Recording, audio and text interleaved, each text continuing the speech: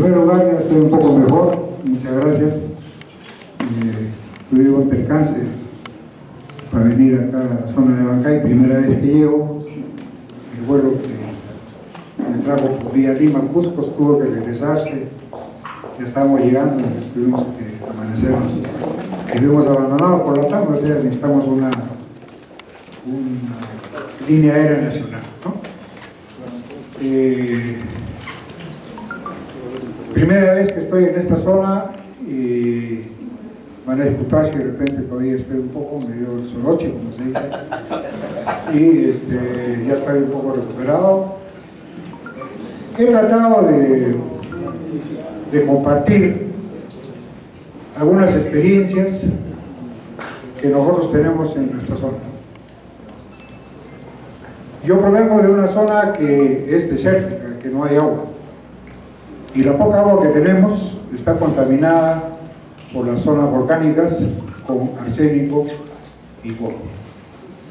Por eso presentamos un proyecto con fondos del canon minero hace cuatro años y logramos ganar esto porque es concurso nacional y estamos trabajando en este proyecto que termina el próximo año. He tratado de resumir, puede seguir.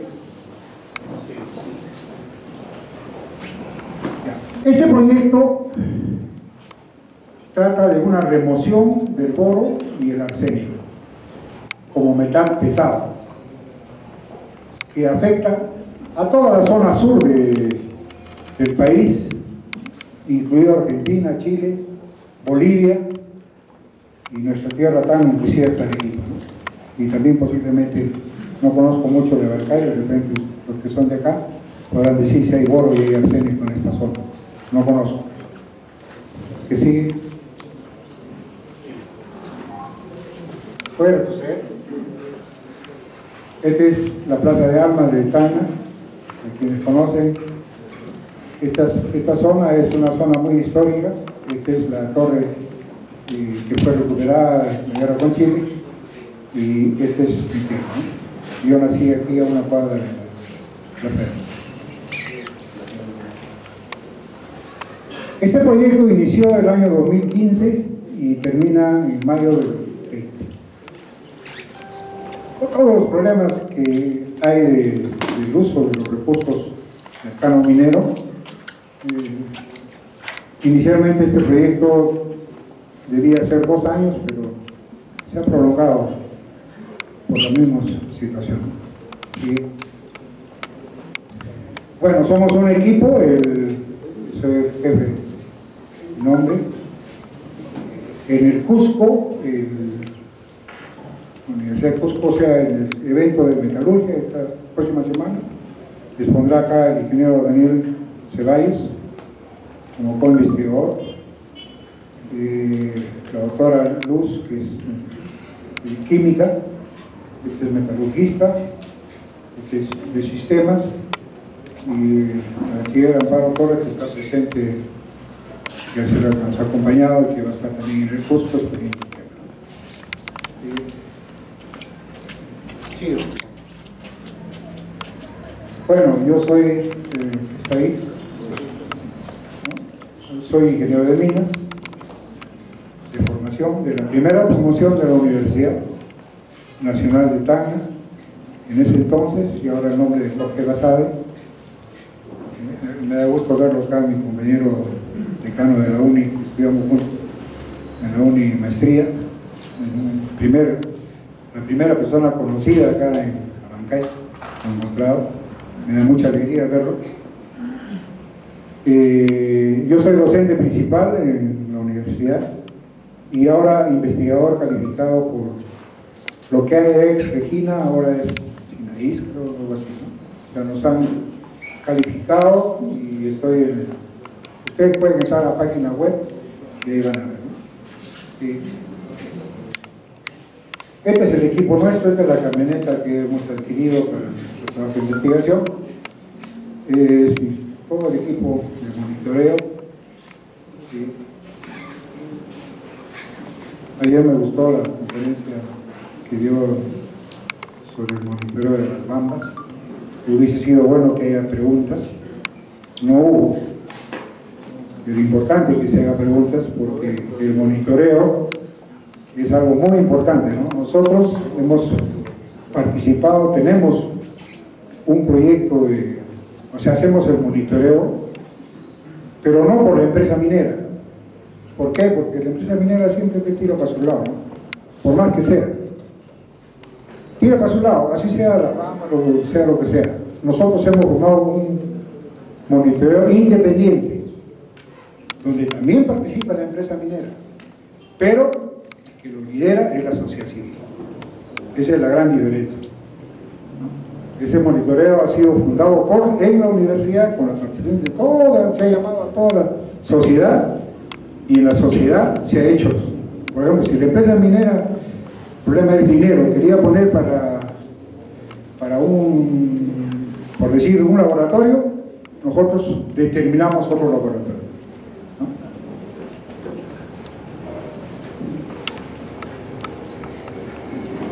Me avisa del tiempo, ¿eh?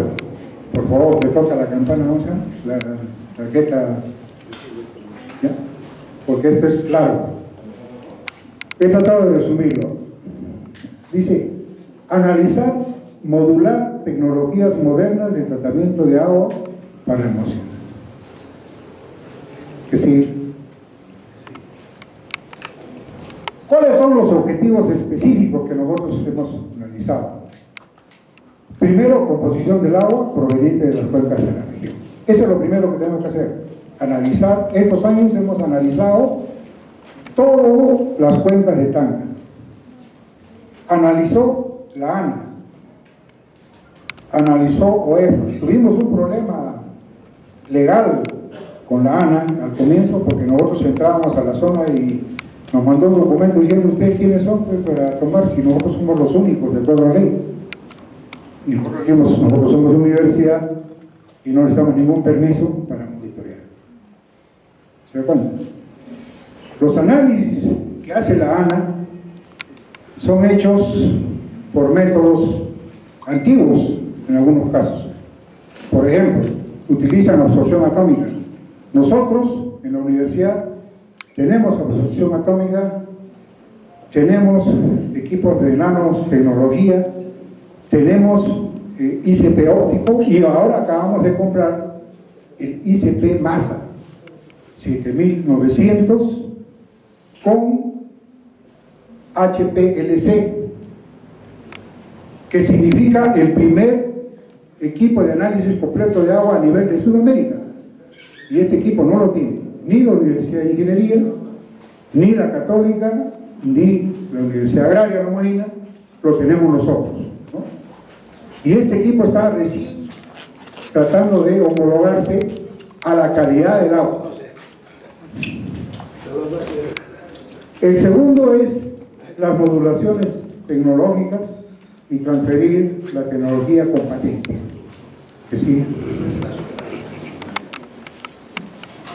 El gran problema es la calidad del agua en el mundo de hoy. Y el agua en nuestra zona está contaminada con arsénico y boro principalmente.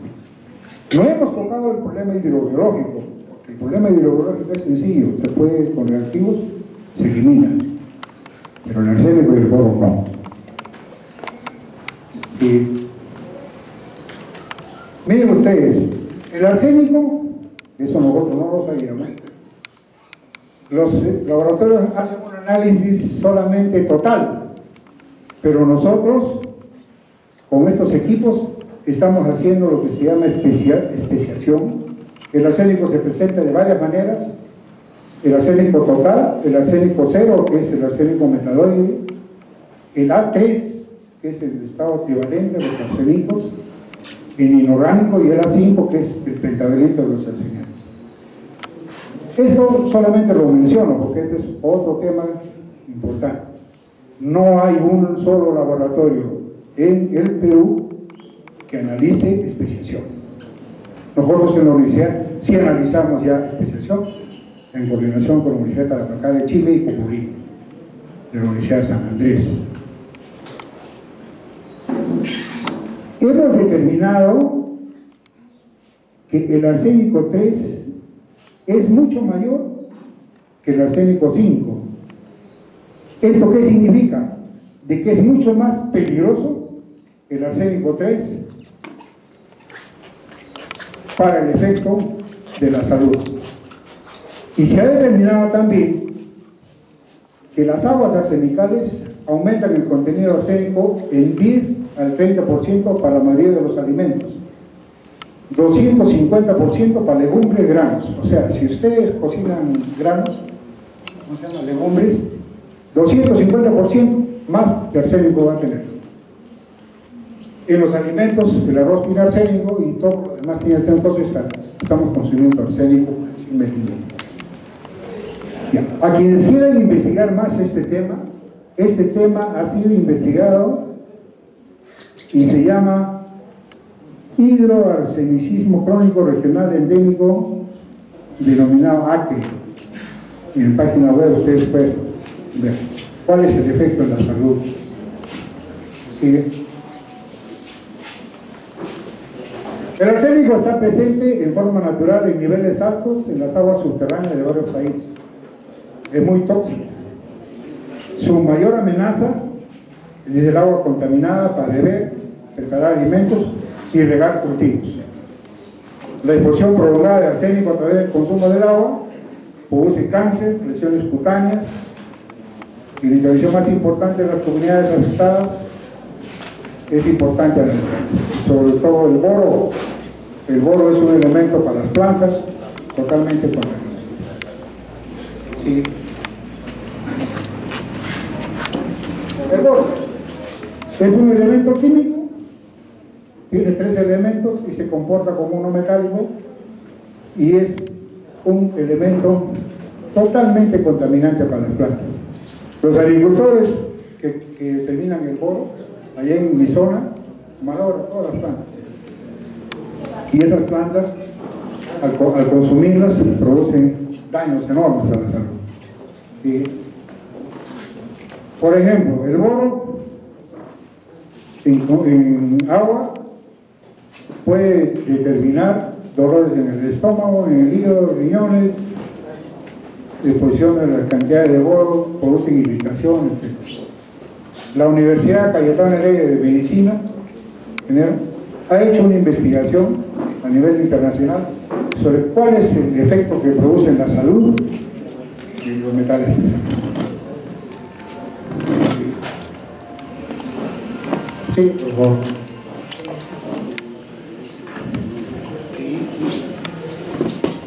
De la fuente de Jerez, que es una entidad de posgrado que analiza bien, y el doctor Guido Bocchio, que es el que ha tenido bien asesor legal de un doctor especialista, uno de los especialistas en agua.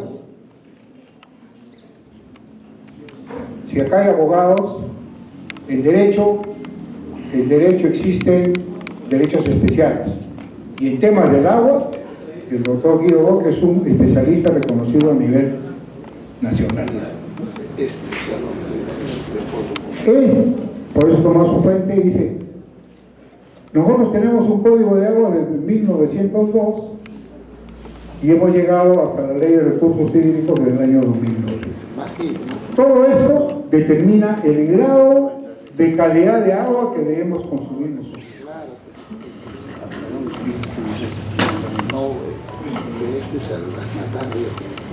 ¿Qué dice la ley? ¿Qué es el agua? Artículo 1. El agua es un recurso natural, renovable. Es indispensable para la vida y es estratégico para un desarrollo sostenible. El agua es lo fundamental. El agua tiene vida. Hay investigadores que han hecho investigaciones en el agua y cuando ustedes maltratan el agua, el agua se pone triste. Y cuando ustedes lo, analizan bien, lo cuidan, lo encariñan, el agua se pone alegre. Y no miento, ¿no? Eso lo han hecho los japoneses y eso está ahí. Sí. De acuerdo a la ley, el agua es patrimonio de la nación es bien de uso público y tiene que tener armonía con nosotros. Primero es el agua. Sí. Pero hay aguas que no están comprendidas en la ley. Por ejemplo, la navegación, la flotación y uso de actividades con agua de mar no está en la ley. El uso desalinizada del agua de mar, en el artículo 27 sí lo considera con algunas regulaciones. Sí. Y esto también son datos importantes. 69.7% tenemos de agua congelada, agua dulce. 0.3 agua superficial y el 30% agua en el mundo. Entonces, yo lo voy a dejar esto ahí para que ustedes lo tengan. Acá está la fuente, las páginas. O sea, es importante que en una exposición se haga referencia a las fuentes, porque si no, no teníamos credibilidad. ¿sí? Bueno, actividades que nosotros hemos realizado. Ayer escuché también de Nosotros tenemos cuatro cuencas, ¿no? el Mauri, la cuenca de Sama, Intercuenca, la cuenca de Caprina, todas estas cuencas lo hemos analizado. Cuatro cuencas. Hemos hecho monitoreo de todas estas cuencas. Por ejemplo, el SAMA, que es el equipo de monitoreo, Locumba, ¿sí? Locumba, justo donde hay problemas de boro, hemos analizado, estas son las muestras, ¿sí?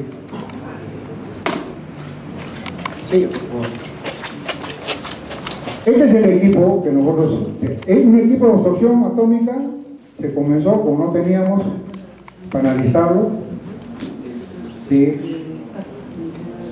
y ahora tenemos el ICP. Este es el ICP, la experta en ICP ha venido la es una egresada nuestra y la hemos apoyado, ya es ahora profesional.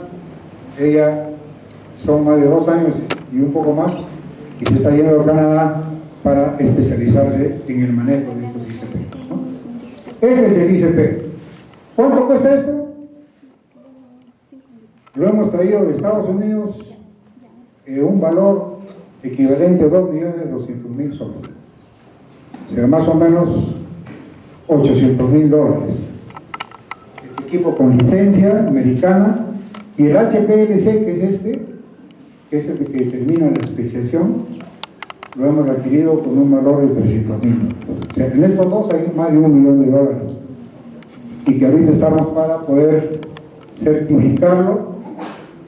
Es un equipo maravilloso. Es un equipo que utilizan los médicos en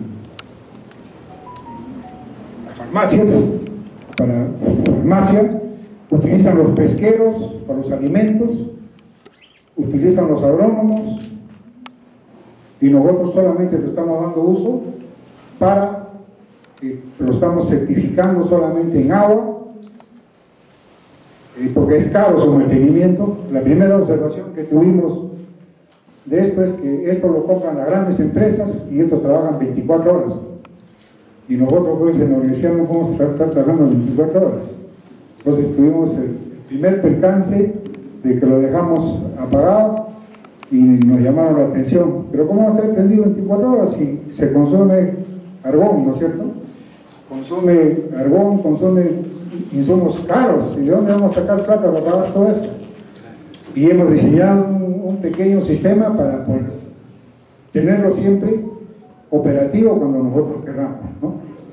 Porque esto no podemos darle uso todavía, como es proyecto de investigación, no podemos darle uso a la industria, no lo podemos, estamos prohibidos por ley, pero sí lo podemos usar. Que sigue. Miren ustedes, los niveles de arsénico. Esto en Ilavaria prácticamente altos, cuando el nivel de nosotros debe ser 0.01 miligramos por litro de nivel. O sea, acá está consumiendo agua envenenada. Sí. En Tarata, ni hablar. El nivel nuestro está acá.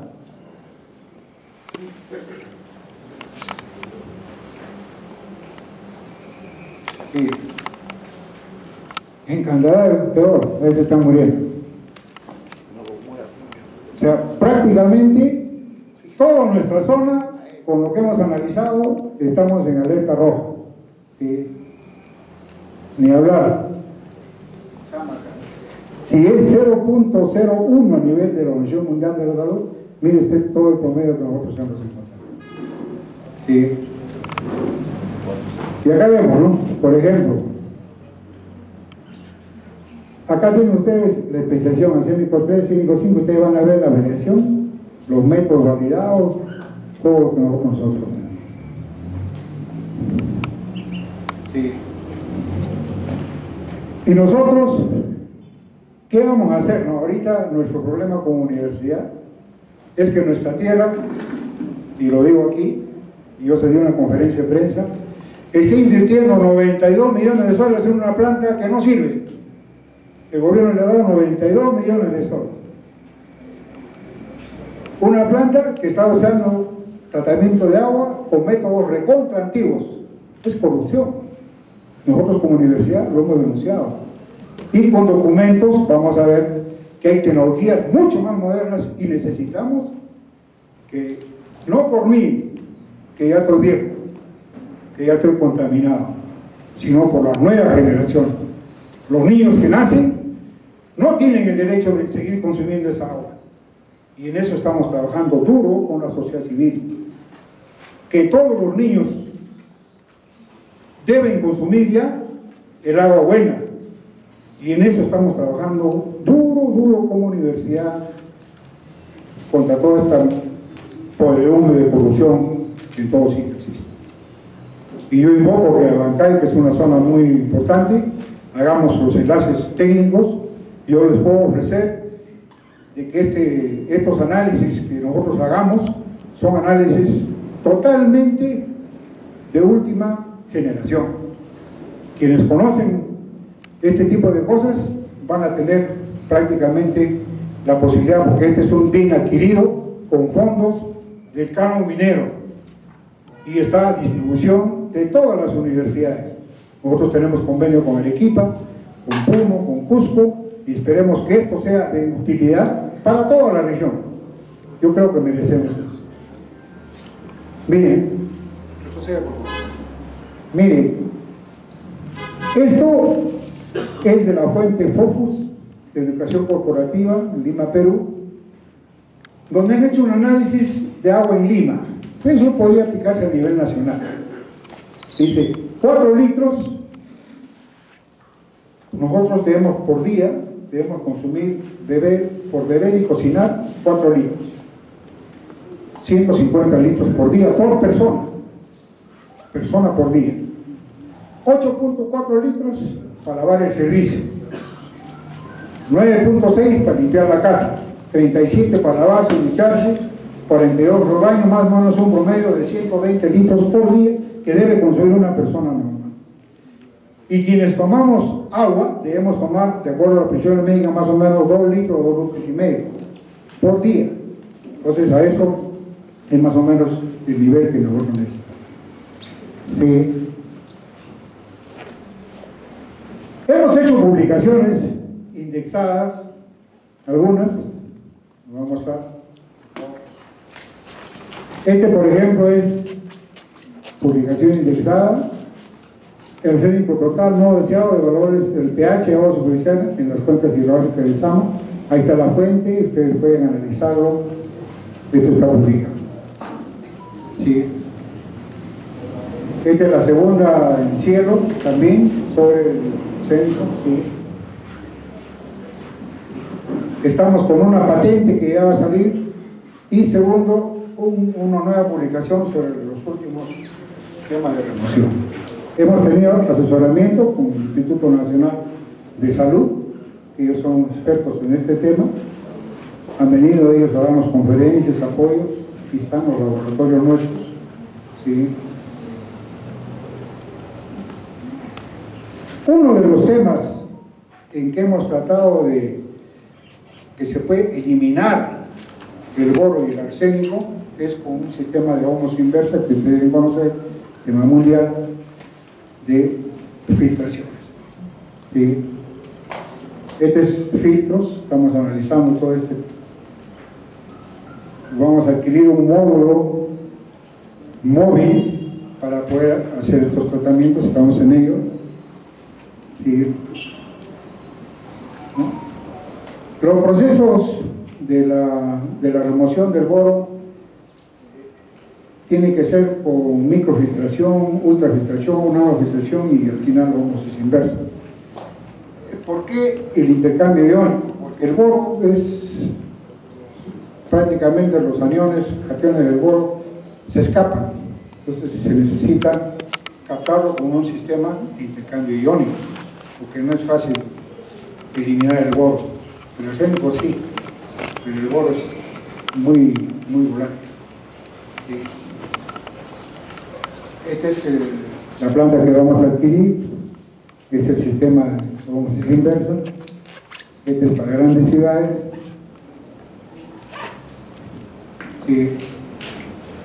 Bueno, la municipalidad de Valla adquirió un módulo de homosis inversa le costó 7 millones y medio de soles y estamos, hemos investigado ello. Es la planta de la municipalidad de Icabaya para eliminar el arsénico y el boro. Acá estamos nosotros, el equipo, en la inauguración. Acá está el que habla. Esto a las comunidades da servicio, ¿no? Pero también las comunidades son medio, medio bandidas, hombre. O sea, le, damos, eh, le daba agua y ¿qué hacía? Se la soplaban el agua pues, para su riego. ¿Y cómo van a regar con agua pura? O sea, eso era para consumo humano. Hacía falta un poco de cultura ahí, ¿no? Sí. Este es el convenio, Consejo Universitario, que hemos hecho. Una de las razones de la universidad es ligarse a la comunidad no puede existir una universidad si no se liga a la comunidad. Entonces nosotros con ellos estamos apoyando a las comunidades. Esta es la página web, que tenemos una página web del proyecto.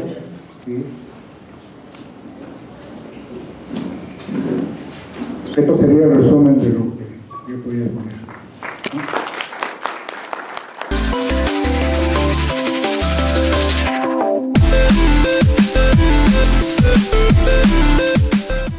Buenos días. En primer lugar quisiera agradecer a los organizadores de este evento, en particular al gobierno regional, señor gobernador regional, por ser el anfitrión y a todos los que han organizado este evento. Y, gracias por hacerme participar y escuchar una conferencia realmente muy buena del doctor que me antecedió sobre el análisis técnico a las aguas que la contaminación, que algunos hablan de palabras, debe tener sustento técnico, y ese es un sustento técnico, realmente.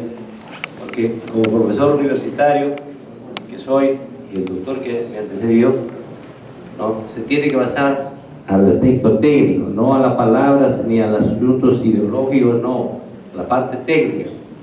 En este caso concreto, gracias por la invitación, por poner el tema siempre cosecha de agua de lluvia en zonas andinas y su impacto en el proceso de cambio climático. Realmente es un tema que nos preocupa a todos los peruanos. ¿Por qué? Porque tenemos una región árida que es la costa, que se abastece de la sierra y la sierra a su vez es semiárida, porque gran parte del año no tiene agua. Pero no solamente somos el único país, hay muchos países miles de millones de, personas humanas que tienen ese problema de agua y va a acentuarse año a año por todos los fenómenos que se van dando. En tal sentido, vamos a iniciar, miren, con esta reflexión. Miren amigos, si la precipitación de nuestras laderas, acá en Abacay, o menos 500, 600 milímetros, pero es casi general en nuestra sierra. Cajamarca también está por los 600, Cajamarca ciudad. Y en Ayacucho está un poco más bajo, 500. Hay provincia de Ayacucho que está a 300, 350 milímetros al año. ¿no? Huancavelica también, hay algunas provincias que están bajo 400 milímetros. Esa es nuestra realidad, pero acá analicemos lo concreto. Si llueve 400 a 600 milímetros en promedio, en laderas para cultivos, en esas laderas está lloviendo 400 milímetros o 600 y ahí están nuestros campesinos sembrando, cosechando para alimentarnos y para alimentar ellos. Pero ¿qué pasa? En esas laderas, en esas condiciones, hay un coeficiente de corretía. ¿Qué quiere decir? Que de esos 400 milímetros que están, el 30% se está yendo fuera de la parcela. O el 40% se está yendo fuera de la parcela. O sea, no el cultivo que se instale, papa, yuco, maíz, ¿no? o trigo, no lo va a aprovechar. Pero se está yendo fuera para alimentar las quebradas, que se Es decir, se pierde por escorretía superficial de unos 120 a 240 milímetros por año. De esta poca lluvia que cae, se está perdiendo esta cantidad en promedio, porque hay zonas que se pierde más, en zonas de cultivo. ¿Qué equivale, qué equivale a que queda en el, para el cultivo, en el terreno, de estos 400 a 600 que se cae por precipitación, 280 a 340 milímetros queda para el cultivo, que equivale a 2.800 o 3.400 metros cúbicos por hectárea. Como ingenieros, como conocedores del campo, la papa mínimo se necesita 5.000 a 6.000 metros cúbicos por hectárea. Por eso se está, se está trabajando con variedades de menor consumo de agua. Pero mientras no haya esas variedades, esto es la realidad, 5.000 a 6.000. Es decir, si nosotros queda en la parcela, en la chaca, queda 2.800 a 3.400, esto va a servir para esta papa. Es decir, ya está faltándole agua. Ya está faltándole agua. Esa es una de las causas por las que tiene menos productividad por hectárea nuestro campesino. Cuando bien con algunos trabajos de conservación de suelos o, con, o conservación de agua, se podría quedar esta agua que se, va, que se pierde por escorrentía se podría quedar para mejorar el balance hídrico de ese cultivo. Y para el maíz también hay un déficit de agua. Es decir, nuestros campesinos en las laderas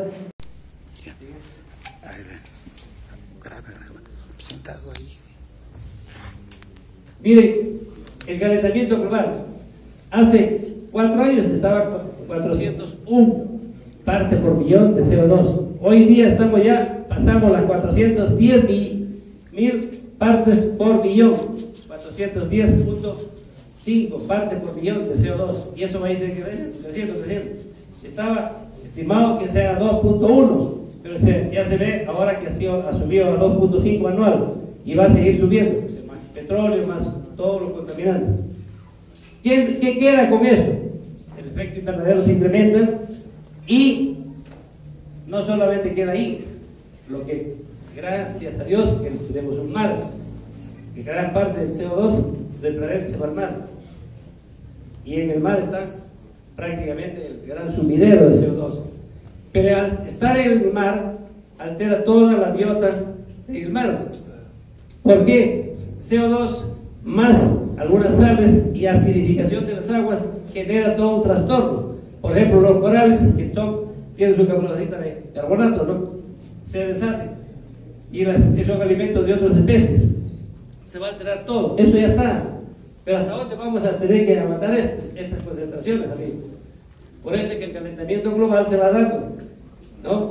2 grados, 2.5 grados, ¿no? Ya tenemos ahorita la temperatura de 0.8 a 0.9 grados ya comprobados sobre lo normal y pronto estaremos pasando el 1.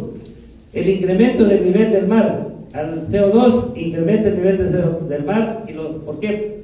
Los hielos de los de los de los, de los nevados, etcétera, etcétera, más todo el problema que genera el CO2 abajo ¿Por qué? Porque incrementa la actividad, lógicamente, y el volumen. Entonces, esto se va a ir subiendo. Muchas de las costas se van a... Ya se ve lo que está pasando, amigo. Y en la llanada mismo también tenemos, ¿no? Hay un problema ya de intrusión marina.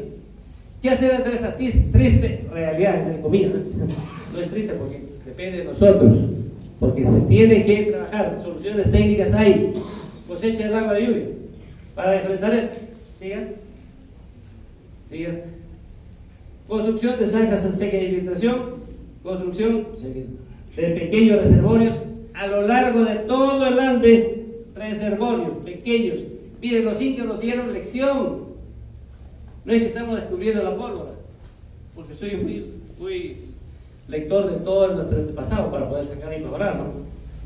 Los incas hacían las famosas cochas con su chaquitaglia de 20, 30 centímetros de ancho y 50 de profundidad o 30 de profundidad.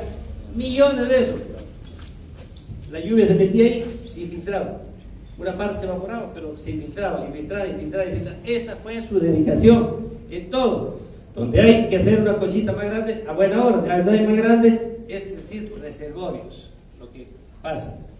Reforestación, ¿por qué? Porque un árbol infiltra 47% de la lluvia que cae. Es decir, si en una zona llueve 500 milímetros, el 47%, 240 milímetros más o menos, infiltra el árbol. Si hay práctica de, conservación de aguas o retención de agua, mejor, un poco más. Es decir, aquí está. Y los, y los, y los pastos también. Por eso tenemos que trabajar en postes, en bosques y pastos para poder retener, agua infiltrada, haciéndoles hincapié. El árbol más o menos llega a 47% de infiltración y el pasto, por bueno que esté, máximo llega a 12-14%. O sea, el árbol es más importante. Por eso es que los incas mantuvieron bien toda la parte alta y media de las cuencas. E inclusive bien ciertas normas dadas por el micanato que todos los árboles eran del Inca. No es porque sea egoísta, y quería acaparar todo, no, para que se miren, no corten. Cortan sí si lo has sembrado. Es decir, que trabajen sembrando los árboles. Esto es importante. construcción de terrazas de absorción, aprovechamiento de fallas geológicas. Miren, tenían organizado a ingenieros, ingenieros que recorrían la 4.000, 3.800, 4.200, 4.500 recorriendo. ¿Dónde hay fallas geológicas? ¿Qué eran geólogos? buscaban una falla ecológica, encontraban, ahora sí, ¿de dónde tenemos el agua? Buscar una quebrada, captar el agua y traer, y lo tragaba la tierra, comúnmente, ¿no? ¿Y para qué? Para que esa agua no se vaya abajo, se infiltre y aparezca como manantiales. Ese es el principio. Cuando llegaron los españoles, dijeron, bueno, esto no sirve, esto es bien hecho, gente que gasta su tiempo si no le saca provecho de nada. Es que esa es parte de la cultura del agua que mantuvieron acá nuestra cultura ancestral. Ellos desconocían aquello. En tal sentido, hay toda esa parte. Aparte de que el árbol, donde hay neblinas, donde hay neblinas, atrapa el agua que está en las neblinas, la molécula de agua. Por ejemplo, los quinoales, los pollos y otras especies son benditas. Por ejemplo, acá ya está probado, los científicos lo han probado, acá se miren, en Machu Picchu, los bosques de Machu Picchu, los quinoales, ¿no? Miren ustedes que están allá. Un quinoal puede absorber de donde hay, de la, de la, de la neblina, entre 2 hasta 10 litros por 24 horas, depende del estadio de la planta. De 2 a 10 litros de 24 horas por día. Imagínense, millones de quinoales, millones de litros que se van infiltrando. Esa agua se infiltra y va apareciendo los quiales. Eso es fundamental tener claro que la vegetación, aparte que hoy día se maneja también, en el internet, la bomba biótica, ¿no? El principio de la bomba biótica que generan los árboles. Es una teoría dada por unos científicos rusos, físicos nucleares, con las cuales yo coincido totalmente. Todavía no lo, no, lo hacen masivo, pero hay que leerlo. La bomba biótica, que, constituye el accionar de los árboles, de la vegetación, que comienza a mover la parte atmosférica para generar más lluvia. La construcción de zanja de infiltración, sigan. Es una sequita así de sentido, hecha a mano, sigan. O acá mano viene o con tractor, o con tractor. Cuando el tractor pasa y repasa y pasa más abajo, la gente viene acá rapidito porque ya movió la tierra. Pero al final, sigan, van quedando, miren, acá está 4.000 metros. ¿No? Un poquito retroceder, por favor. Ya, miren, un poquito más. Miren, acá ven, nuestra gente, cómo ha retenido el agua.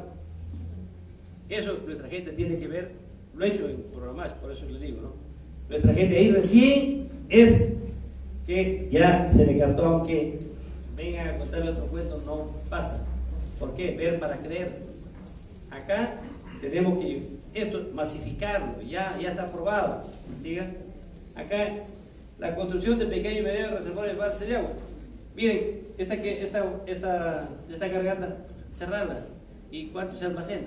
Después más tarde que la lluvia pasa, queda lleno pequeños reservorios. En este caso es de cemento, hay otra, hay mejor ahora la geomembrana. Geomembrana es de 75, de 1 o de 2 milímetros de espesor. Una de 0,75 está alrededor de, para mil metros cúbicos, unos 15 o 18 mil soles. Y junto a ese pequeño reservorio o gran reservorio o un reservorio de mil metros cúbicos o 500 metros cúbicos, su riego por aspersión o microaspersión o gotero. La tecnificación del riego tiene que llegar. Eso estuvo diseñado en el PCI que creé cuando tuve la oportunidad de llegar a servir ¿Por qué? Es mi especialidad. Miren, estas lagunitas, ¿cuántas lagunas hay a lo largo? Ahí inventaría más de 14.000 lagunas en toda la sierra. Acá vienen los hidrólogos, vienen los geólogos, vienen los especialistas, los topógrafos, me hacen acá y ven si puedo elimar, eh, un poco más para almacenar más agua. O sea, trabajitos de ese tipo no cuestan mucho, será 100 mil, 200 mil soles, pero se puede hacer mucho en ese tema. La reforestación. Miren amigos, la reforestación tiene un sentido social muy grande, pero un sentido técnico y ambiental. Miren amigos, sembrando arbolitos, miren cómo se va a regenerar la vida. Va a haber pasos, ahí que venga la lluvia y haga daño, ya no puede más. Y ahí más bien se va a infiltrar el agua. Y esto y cambia la vida. Pero acá sí tenemos que tener claro que tienen que participar todos. Miren una profesora ¿no? sacrificada del sector rural, a sus niños bien chiquitos. Pero ya le está metiendo debe sembrar arbolitos, medio ambiente. Pero tenemos que trabajar con los profesores, con los niños, los padres, etcétera, etcétera, ¿no? Hasta el curita, ¿no? Porque el curita en una homilía que diga es bueno sembrar árboles, que refuerce de vez en cuando, coordinándolo, ¿no? Siempre la generación de pastizales. Sigue haciendo. Siga. Miren amigos, estas son nuestras laderas. Ahí, ¿cuánto se puede pastar? Una oveja por hectárea. Cuando puede ser 5 o 7, depende del estado del pasto. Bien, si no, tenemos, tenemos esto. No, esta es una realidad. Esta es la realidad, les digo amigos. Por eso es que tenemos que trabajar mucho reteniendo agua y mejorando estos pastizales. ¿Por qué? Porque la erosión lleva el suelo y el nutriente. Y lógicamente va a la costa, allá o al mar. Y acá. Por eso el Estado tiene que venderse acá. Y por eso, miren amigos, ¿cuál es lo que más falta en estas alturas? Fósforo, potasio y nitrógeno.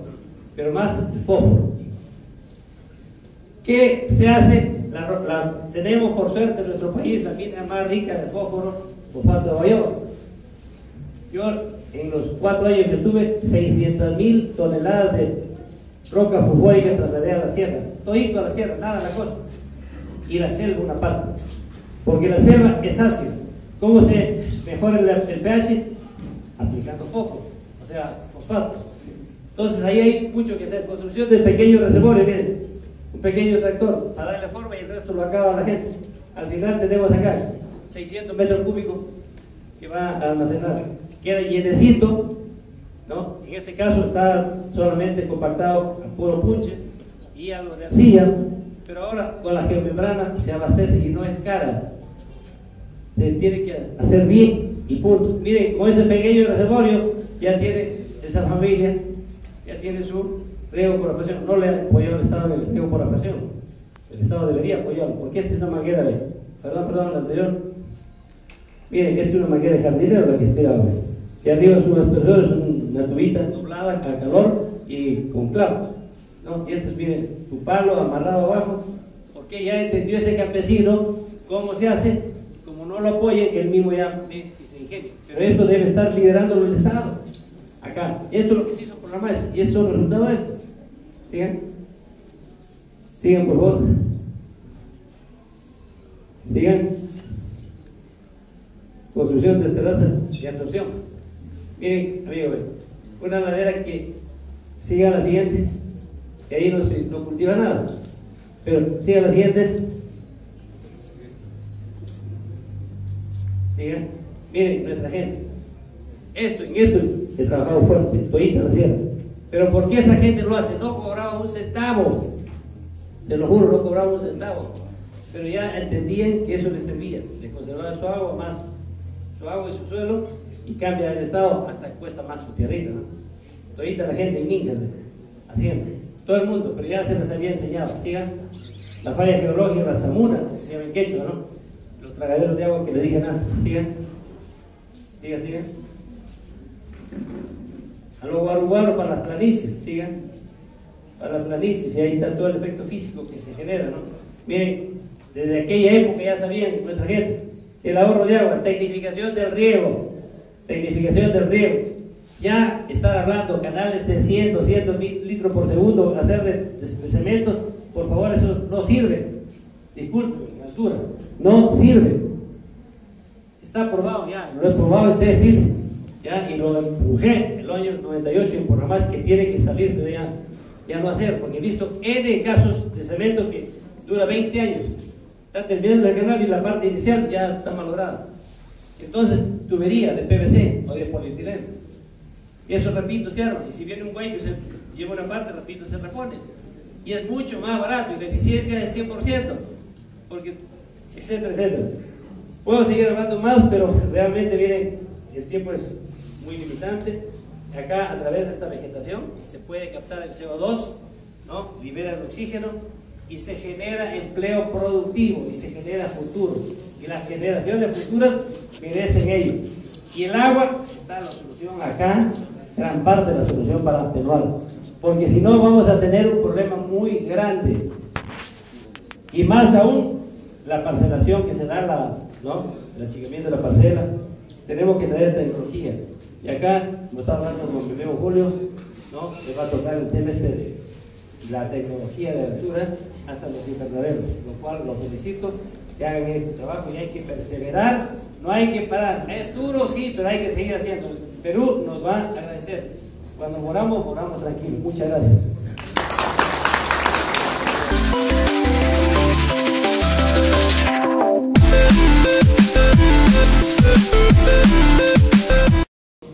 Mi nombre es Julio y el tema que vamos a tocar yo hay que gestionar el sistema de riego desde la cabecera de las crónicas, ¿no? Es para repasar un poco, haciendo pequeños reservorios, represas, mini represas. La siguiente, por favor.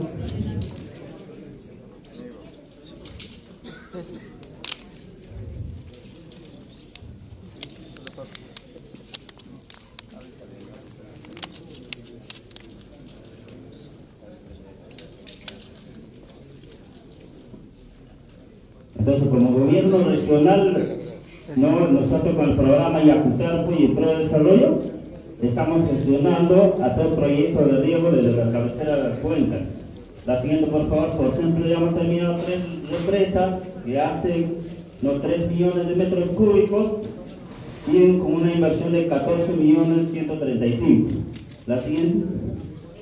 Igualmente, hacemos levantamiento topográfico ya con drones, ya no hacemos con estaciones totales, con GPS diferenciales. La siguiente. Por ejemplo, el equipo para levantamiento topográfico estamos usando ese tipo de drones que nos ayuda a facilitar el trabajo, hacer el expediente lo más, lo, en un tiempo muy corto, no con un costo no economizando. La siguiente. Bueno, pues es un, una topografía con dron para siembra cosecha agua. Identificamos los, las lagunas, los lagos que podemos recuperar ¿no? y calcular el trabajo más rápido, sacar el presupuesto, por ejemplo, en una laguna, ¿no? entonces el levantamiento topográfico, por ejemplo, eso lo hacemos en un solo vuelo, cada vuelo de media hora 200 hectáreas. Entonces hacemos al día como 5 vuelos, entonces ya tenemos el dato en un solo día. Por, eso hemos, eh, como Pro Desarrollo y Gobierno Regional de Apurímac, hemos implementado el equipo de botella con los drones. La siguiente, por favor. Esos son los equipos que estamos usando ¿no? para hacer todos los estudios. ¿no? Y por ejemplo usamos un GPS diferencial. ¿no? Usamos el dron LPK. La siguiente. Por ejemplo, son zonas agrícolas de la materia topográfico, como ustedes están viendo. ¿no? La siguiente, por favor. Ejemplo, ese es un proyecto que vamos a hablar de ese levantamiento topográfico. No vamos a hablar de nuestro diseño, cómo diseñar un riego eficiente de cobertura total. La siguiente. No. Y sistema de riego presurizado. Vamos a hablar netamente del diseño del riego. Cómo hacer un diseño de riego tecnificado y que sea económico y eficiente. La siguiente. retrocedo, por ejemplo, ese es el del video que han visto con levantamiento topográfico con drone y ahí está con curvas de nivel, los planos, identificación de áreas. Como ustedes ven ahí, no tengo 600 metros de columna de agua, es ladera como toda la sierra y el presupuesto por hectárea, ustedes pueden ver, no incluye el expediente, nos ha salido 17 mil soles. Y nosotros sabemos muy bien, en MINAG, el Ministerio de Agricultura, PSI, todos tienen el presupuesto de 30 mil. Los diseñadores de riego, ¿no? Otros colegas dicen el 30 mil no alcanzan, pero nosotros lo hemos hecho con 17 mil nuestro proyecto piloto y eso es lo que estamos aplicando en la región con el programa de apuntar. Economizar costos, hacer un trabajo eficiente, pero hacer un riego tecnificado de verdad, no un riego tecnificado de nombre, porque muchos proyectos en la sierra es riego tecnificado de nombre, pero es un riego tradicional, ¿no? La siguiente, por favor.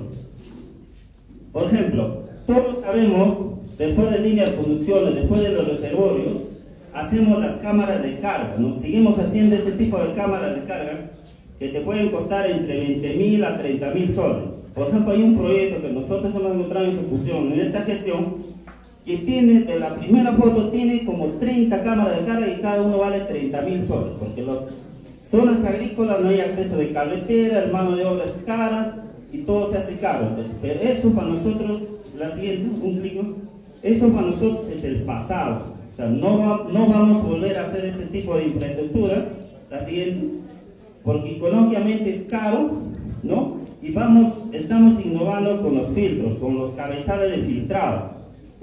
El primer filtro es para mayores caudales, el segundo filtro para menores caudales, pero el manifold para cubrir el caudal. Incluso en el mismo filtro lo estamos aplicando los inyectores fertilizantes. La siguiente. Por ejemplo, es una animación de un filtro, depende del caudal. Hemos hecho una animación 3D. ¿Cómo filtra ese filtro? ¿Qué beneficio tiene? La malla gruesa es de ese filtro para que se quede todo grande y el malla fina para todos los limos. Entonces el tema también es por qué usamos ese tipo de filtro automático. Es que muchas veces cuando hacemos la cámara carga anterior que, que vieron las fotos, los usuarios, los beneficiarios no hacen el mantenimiento. Se colmata, cuando ya no funciona, recién hace el mantenimiento cuando toda la válvula, todo el sistema, digo, toda la tubería está contaminada, está de lodo y ya todo el proyecto está colapsado. Pero cuando tenemos ese tipo de filtro, ese filtro trabaja desde dos bares de presión y como ven en el video, cuando se colmata el lodo, automáticamente hace su propia limpieza por la diferencia de presiones, por la diferencia de caudal. Tiene un sensor hidráulico, entonces cuando ya hay caída de presión, porque ya se el filtro, automáticamente expulsa todo el oro. Entonces eso nos da más garantía que el, que el riego se vuelva automático y hidráulico, ¿no? Porque en la sierra tenemos presiones, hasta regulamos presiones. si tenemos presiones, esas presiones hay que usar para hacer un buen filtrado y no hacer las cámaras caras. Encima te cuesta caro.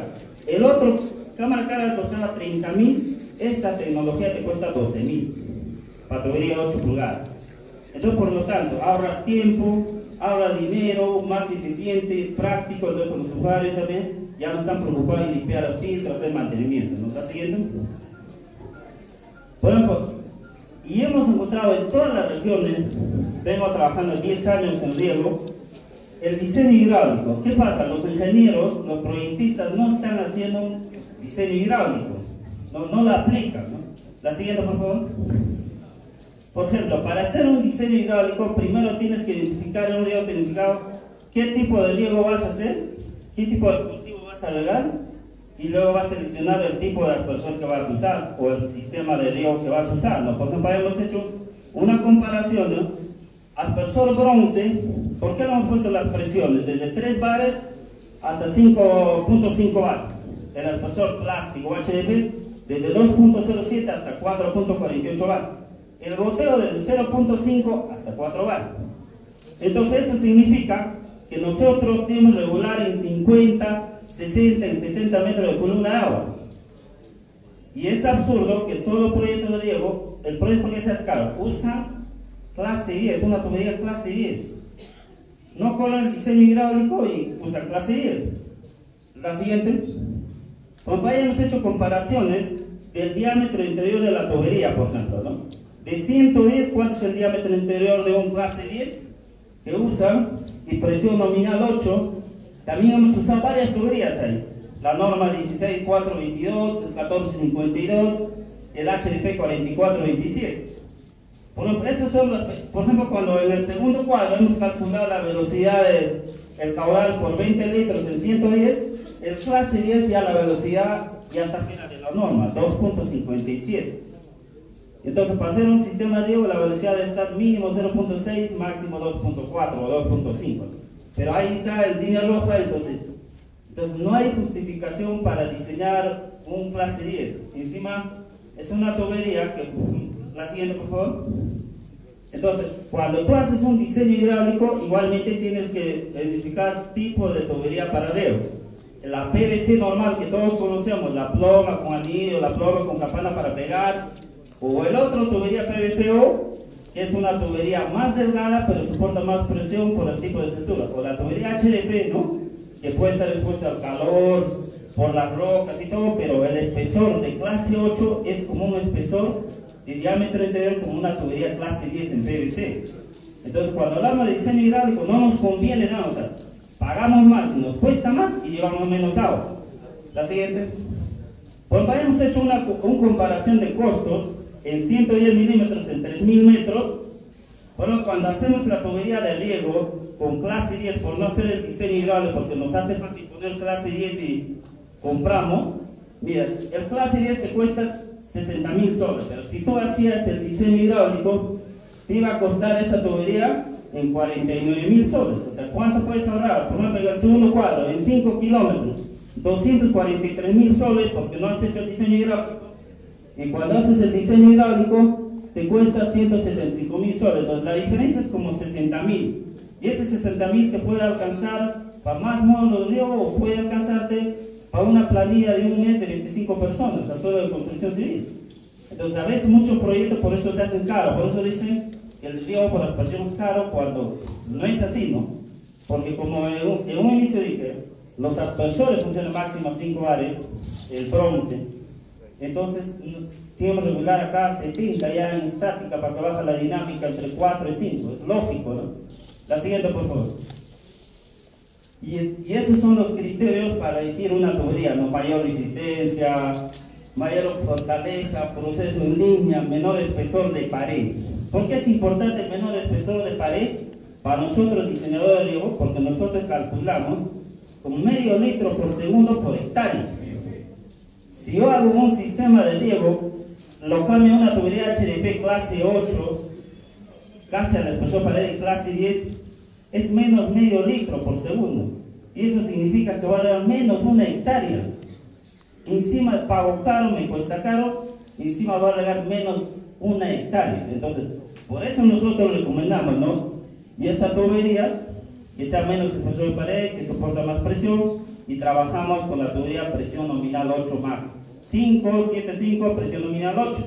Porque hay esa tubería, muchos ingenieros decían, ingeniero yo nunca he escuchado clase 8, solo he escuchado clase 5, 7, 5 y 10.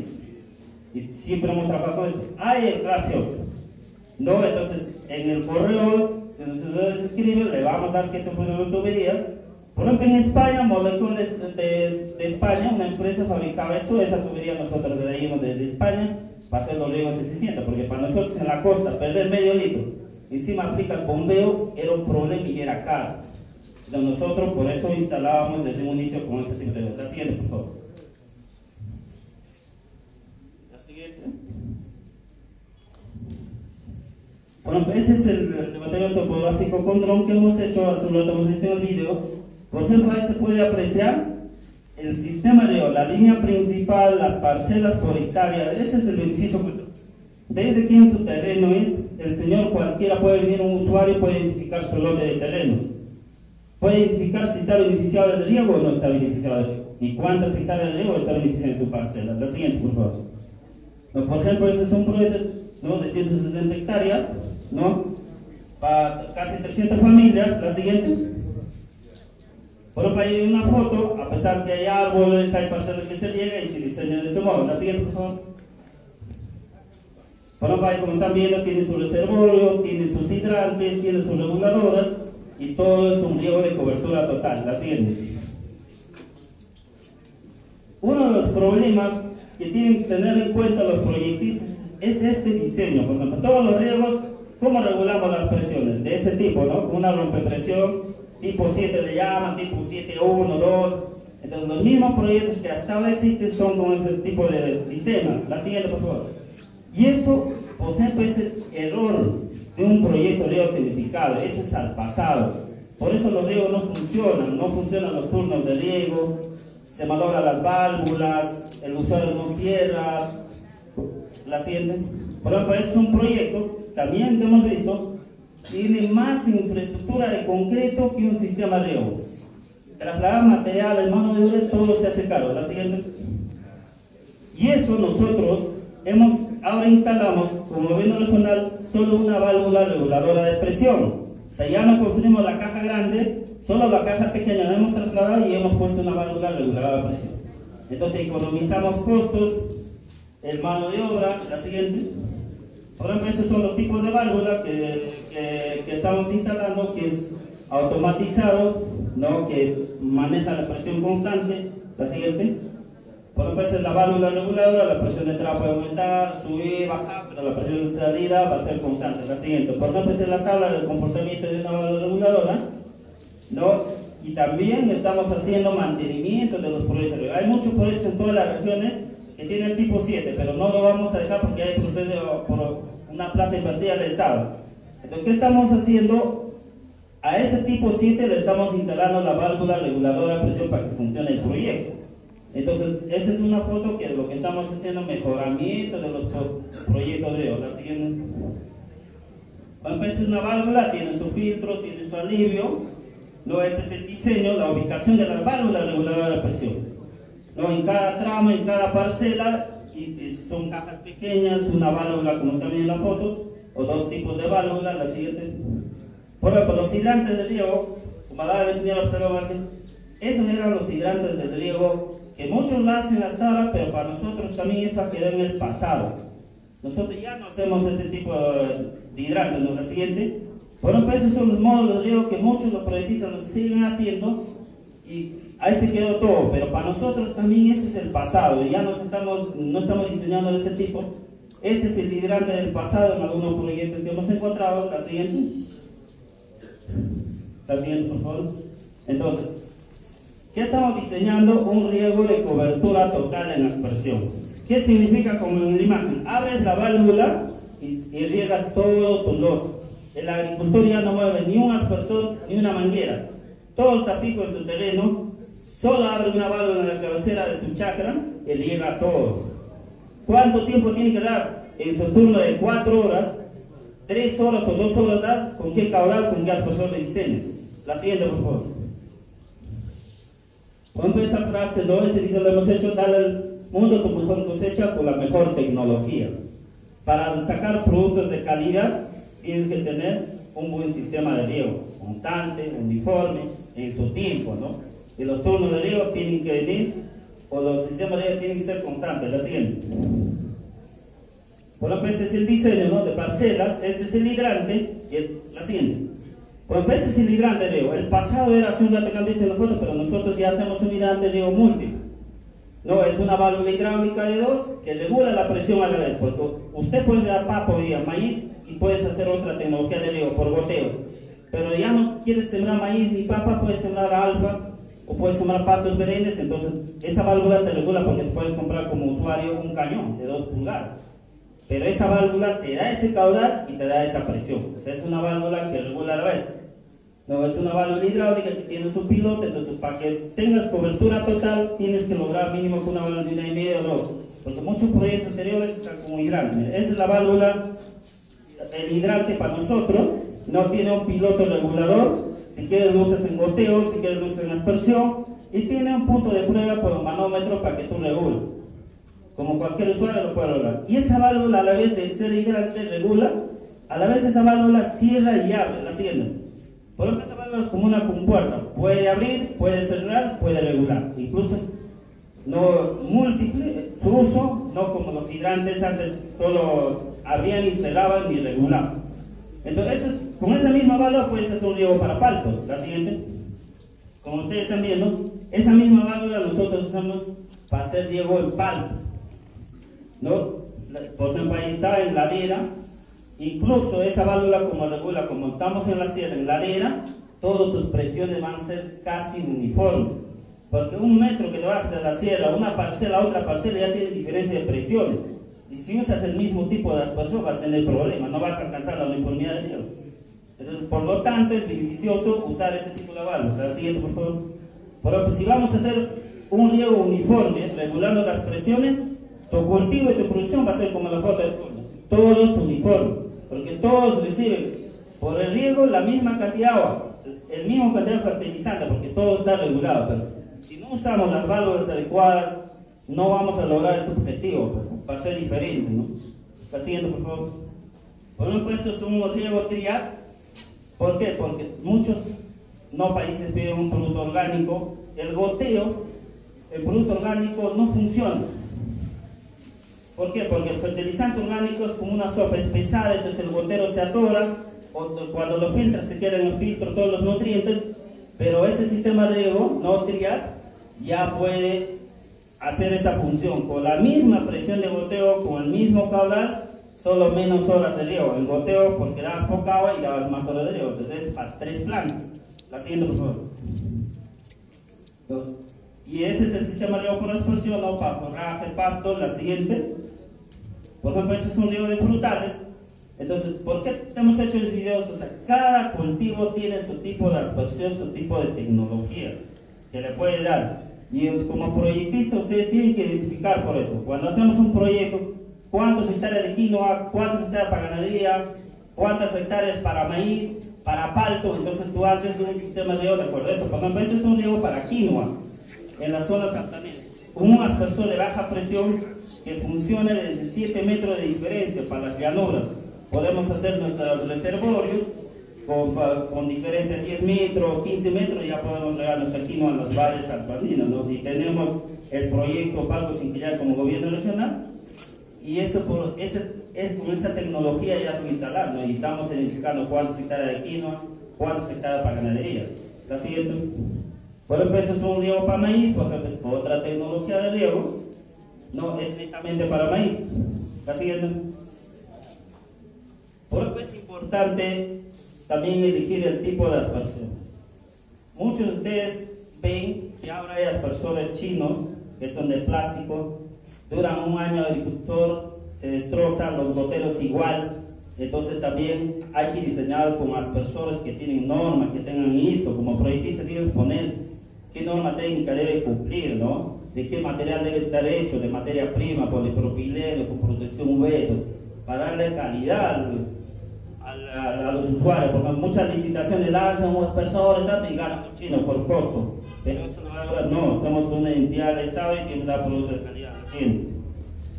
Por lo pues es una uniformidad que todos los diseñadores sabemos, mínimo debe ser 85, con ese tipo de espesor para alcanzar y con ese tipo de riego de cobertura total, sí podemos lograr, a pesar que es la arena, a pesar del viento, una uniformidad y con este cabal que están viendo, nosotros regamos 4 horas, un turno de riego. Entonces, en 4 horas, nosotros, por ejemplo, un turno de riego vamos a dar 50 hectáreas en 4 horas. Eso significa riego tonificado. No significa que el agricultor más pasa, pierde tiempo abriendo tantas válvulas porque lo has puesto con puertas tipo 7 y moviendo tantos aspersores, ahí pasó la hora. Ni siquiera entonces, cuando instalamos cobertura total, el tumero va a soltar una sola válvula o lo automatizas de tal hora a tal hora ya iba a llegar 50, 40 hectáreas. El que no quiere llegar hoy día cierra su válvula su cabecera del no llega, simplemente, pero estás avanzando más y no pierde mucho tiempo. La siguiente. Por ejemplo, eso los hidrantes de alguna foto de las parcelas, la siguiente.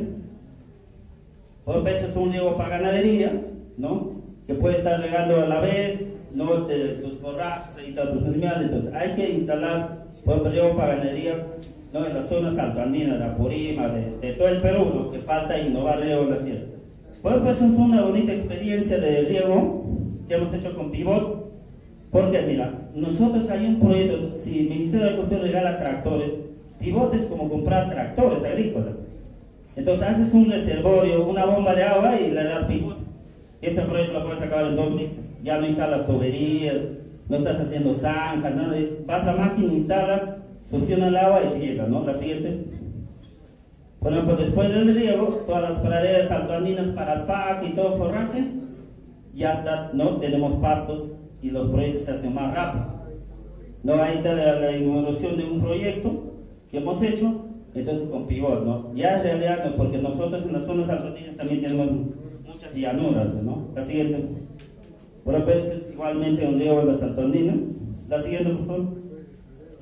Y eso algunos proyectos como Pro Desarrollo del Gobierno Regional de Apurímac se está iniciando, se está impulsando porque queremos asegurar el agua, queremos dotar de agua ¿no? a los agricultores para que ellos salgan productos de calidad y en, y en cantidad. Si no damos agua, no damos el tipo de tecnología, no vamos a esperar no buenos resultados. Por ejemplo, es un video que en la ladera nosotros un solo hidrante maneja todo ese sistema. Entonces, en un solo turno tú puedes hacer ese tipo de riego. Si es posible en la arena, para eso tienes que usar válvulas regular de presiones, para eso tienes que usar aspersores de calidad, para eso tienes que usar tuberías de calidad y abaratar costos. Para lograr toda esa tecnología, nosotros, o todo tipo de ese tipo de riego, hemos gastado 17.800, e incluye el expediente técnico. Entonces, es...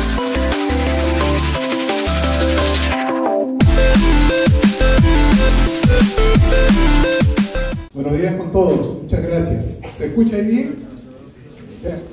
Después de escuchar las exposiciones técnicas de las personas que me han antecedido, ustedes dirán que es un comunicador social acá. Y la verdad es que uno de los grandes problemas del país es que la parte técnica no llega precisamente a percolar a la base de la sociedad peruana. Y por eso es que la mayor injusticia en el país es precisamente la falta de educación. Porque cuando tengamos un nivel académico más alto, todo esto que nos han presentado el día de hoy va a ser aceptada por el conjunto de la sociedad peruana y vamos a hacer, a volver a ser el país líder que nunca debimos dejar de ser. El Perú, en el momento del incanato y esto que ahora el doctor Axalón Vázquez recogió estas experiencias, está considerado entre los cinco culturas originarias del mundo. Y estamos hablando de India, de China, de Mesoamérica, de Perú, y estamos hablando también de Egipto. Entonces uno dice, ¿qué nos pasó? ¿Por qué perdimos el rumbo en su momento? Y no solo es el tema de la conquista que se señaló también, sino que perdemos el rumbo porque dejamos de entendernos. El Perú, señores, tiene varias potencialidades. Una de ellas es la agricultura y también es la minería y también lo es la pesca y el legado histórico del país. Y ahora que nos han enseñado, por ejemplo, nos dicen de las válvulas de bronce que son más importantes precisamente para el riego en la agricultura. ¿Y cómo conseguimos el bronce? El bronce es una aleación de estaño con cobre. ¿Ven cómo la, la actividad minera se convierte precisamente en el principal aliado, aliado de la agricultura, porque se genera los recursos económicos que requiere el país para hacer precisamente esto que nos han señalado ahora. Pero quienes plantean la exclusión de una actividad con otra, no logramos avanzar. Nos detenemos. Y el tema es precisamente complementar. Si ustedes como técnicos agrícolas, como funcionarios públicos, ¿no? tenemos claro que la ruta de desarrollo en el Perú no puede significar la exclusión de un sector con otro, vamos a avanzar más rápido. Yo les doy el ejemplo y ahora que está el doctor también Dante Morales y conversábamos hace un momento. En el caso de Tacna, estamos hablando del año 2001, ¿ah? se financió lo que se denominó en su momento el plan Tacna o el plan Jorge Basal. ¿Cuánto se requería para que Tacna no tenga problemas de agua, para que mejore su calidad en salud, en educación, etcétera, 2.500 millones de soles. ¿Cuánto se recaudó con el boom minero? 4.800. Y Tacna no hizo las represas o el sistema hídrico que requería para regular el agua en las zonas altas. ¿El problema viene de quien genera los recursos o, el problema viene de la administración? Y el problema viene de la administración y aquí no estamos acusando a un gobierno regional en particular, sino que vean cuál es la estructura en el país. ¿Cuánto nos toma hacer una represa importante o un sistema de regulación de agua? Toma varios años porque hay que ubicar las zonas. Hay que construir precisamente en esa zona esa gran pared para acumular el agua. Pero ¿y qué es lo que sucede? Sucede que tenemos poblaciones que invaden esa zona y tenemos recursos económicos generados por la actividad que habría que destinarlos a unas zonas altoandinas y te toca que la obra la vas a tener en un periodo que es superior generalmente al periodo de gobierno de la autoridad local y muchas veces superior a los cinco años de un gobierno nacional. Entonces, ¿dónde está el problema? Que no hemos establecido prioridades y dentro de esas prioridades debería estar lo que señalaba el doctor Alzalón Vázquez. O infiltramos agua o generamos sistemas pequeños para acumular precisamente agua y para hacer irrigación en las zonas altas. Si eso no lo hacemos, los recursos que nos puede generar la actividad minera no va a potenciar la agricultura.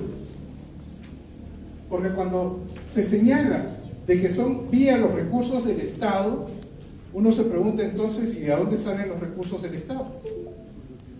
Porque no nos está generando excedentes económicos suficientes la agricultura por sí misma para precisamente potenciarse.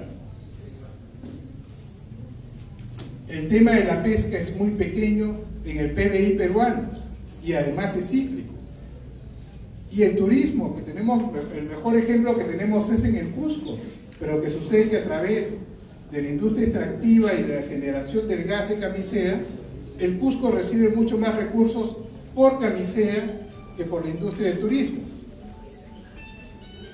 Entonces, esto es lo que les señalo el día de hoy, es de algún modo comunicarles a ustedes que si no somos conscientes que una actividad económica suma a la otra, no vamos a avanzar y vamos a seguir teniendo 23.000 poblados en el país y aproximadamente 100 personas distribuidas entre los Andes, en las zonas más altas del país. Y ahí tenemos que reflexionar sobre ello. Yo con alguna oportunidad conversaba con la doctora Mercedes Arauz y ella me decía, Guillermo, no vamos a poder tener nunca un buen colegio para 100 alumnos en una zona albandina. Ningún profesional médico quiere ir a zonas albandinas. Entonces decimos, ¿qué debemos hacer si las personas naturalmente bajan hacia la costa? El tema no es dejar de poblar la costa, el tema es tener una visión de cómo convertimos en centros de trabajo productivos y rentables. Pero tener una familia en zonas albandinas sí es complicado, porque no logramos que el resto de profesionales vayan. Una cosa es tener un ingeniero agrónomo, un ganadero especialista para agarrar y ver cómo las micras de las alpacas, por ejemplo, y seleccionar alpacas finas, y ahí sí vamos a tener bosques, vamos a tener ganado de calidad, donde necesitamos que sean trabajadores, no necesitamos que vivan con la familia de manera aislada. Pues si no, ¿cuál va a ser el impacto social? Lo mismo que tenemos hasta el día de hoy. Tenemos que las personas más pobres del país viven en las zonas alpandinas y no tenemos profesores de calidad que deseen ir a esas zonas. En el sector minero tenemos problemas el día de hoy, a pesar que ofrecemos sueldos mucho más altos para los médicos para que vayan a los campamentos, lo que son especialidades. Y ustedes se preguntarán, ¿por qué no van? Y cuando uno habla con médicos especialistas, ¿qué es lo que te dicen? A mí no me conviene ir a Toquepalo o a Coacones, donde hay una población, donde su sistema, el cuidado de su salud, prevención de su salud, eh, se encuentra en un nivel muy elevado, porque yo no voy a hacer operaciones y no voy a ganar experiencia. Y estamos hablando de campamentos mineros con 2.500 personas. Imagínense qué pasaría si un profesional va a querer ir a una población de menos de 1.000 personas. No tenemos. Entonces, otra cosa es hacer áreas productivas en las zonas altas, sea para hacer forestación, sea para hacer minería, sea para hacer, para hacer ganadería, pero ganadería de vicuña, ganadería de alpaca fina. Y ahí vamos a encontrar a nuestros compatriotas trabajando en las zonas altas, bajando, que le digo, su esposa, bajando este, los hijos, para estar en zonas de ciudades intermedias. Pero los que seamos trabajadores, vayamos a hacer tres o cuatro días que trabajamos nosotros en la mina por 12 horas o ocho días y tenemos seis días de descanso. Pero eso es una visión integral y eso nos va a significar también empezar a administrar las zonas no como parcelas. Y tenemos que tener una solución para eso. Si seguimos con el campo parcelado, va a ser difícil que hagamos esto que nos han planteado el día de hoy. Por eso tenemos que ser conscientes. ¿Por qué ICA sí tiene, por ejemplo, un manejo de agroindustria? ¿Y por qué no ocurre en el resto del país? En Moquegua se ha intentado, y la tenencia de tierra en Moquegua el día de hoy es 0.8 por hectárea. En el Valle de Tambo tienes tres topos por familia. ¿Ustedes creen que con eso se va a lograr una producción importante?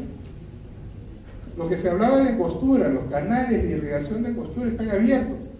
Y en Arequipa, usted tiene una evaporación tan grande que pierde agua. Me acuerdo del doctor Carlos Amati León me contaba sobre ese tema. No podemos hacer eso. Si queremos realmente tener una sociedad mejor de la que tenemos, todas las actividades económicas las tenemos que potenciar. No nos excluyamos. El mensaje concreto desde lo que me corresponde a mí es empleemos agricultura, empleemos minería y veremos cómo el país va a mejorar de manera significativa.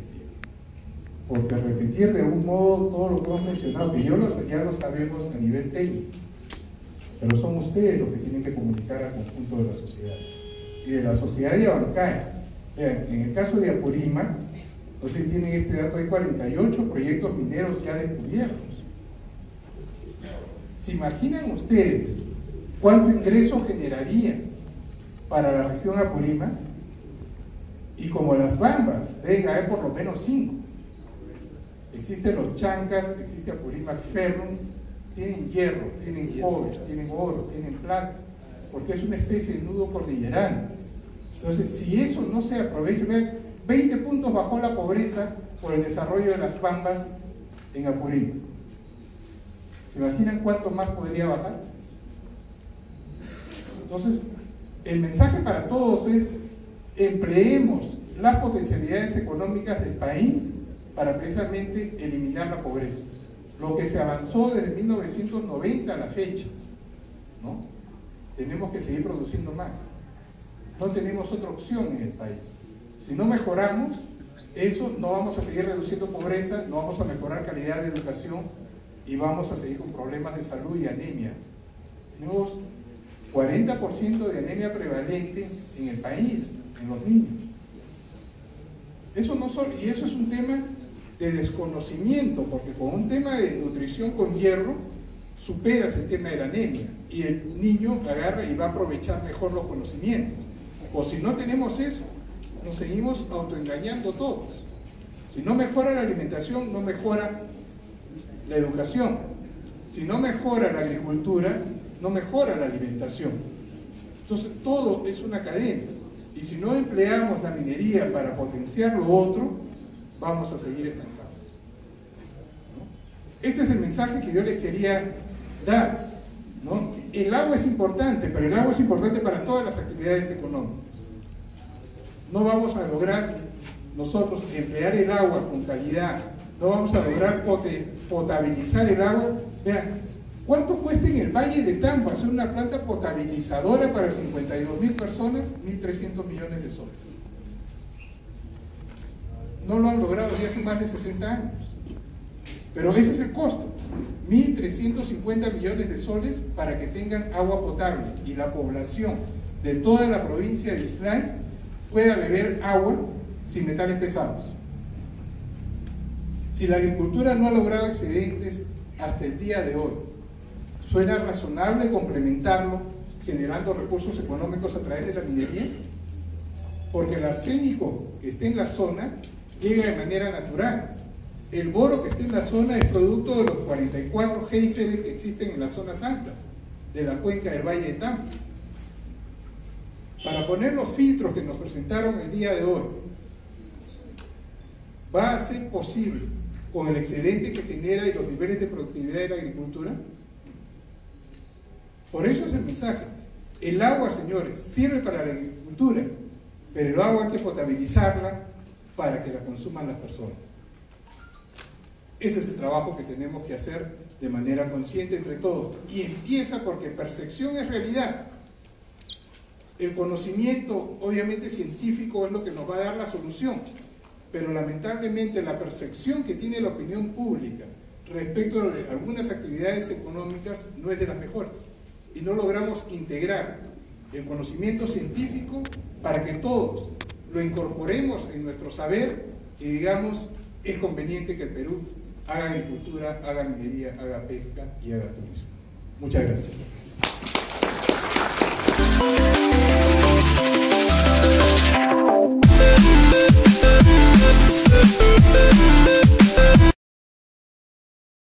En el sistema hidráulico tiene el mismo concepto.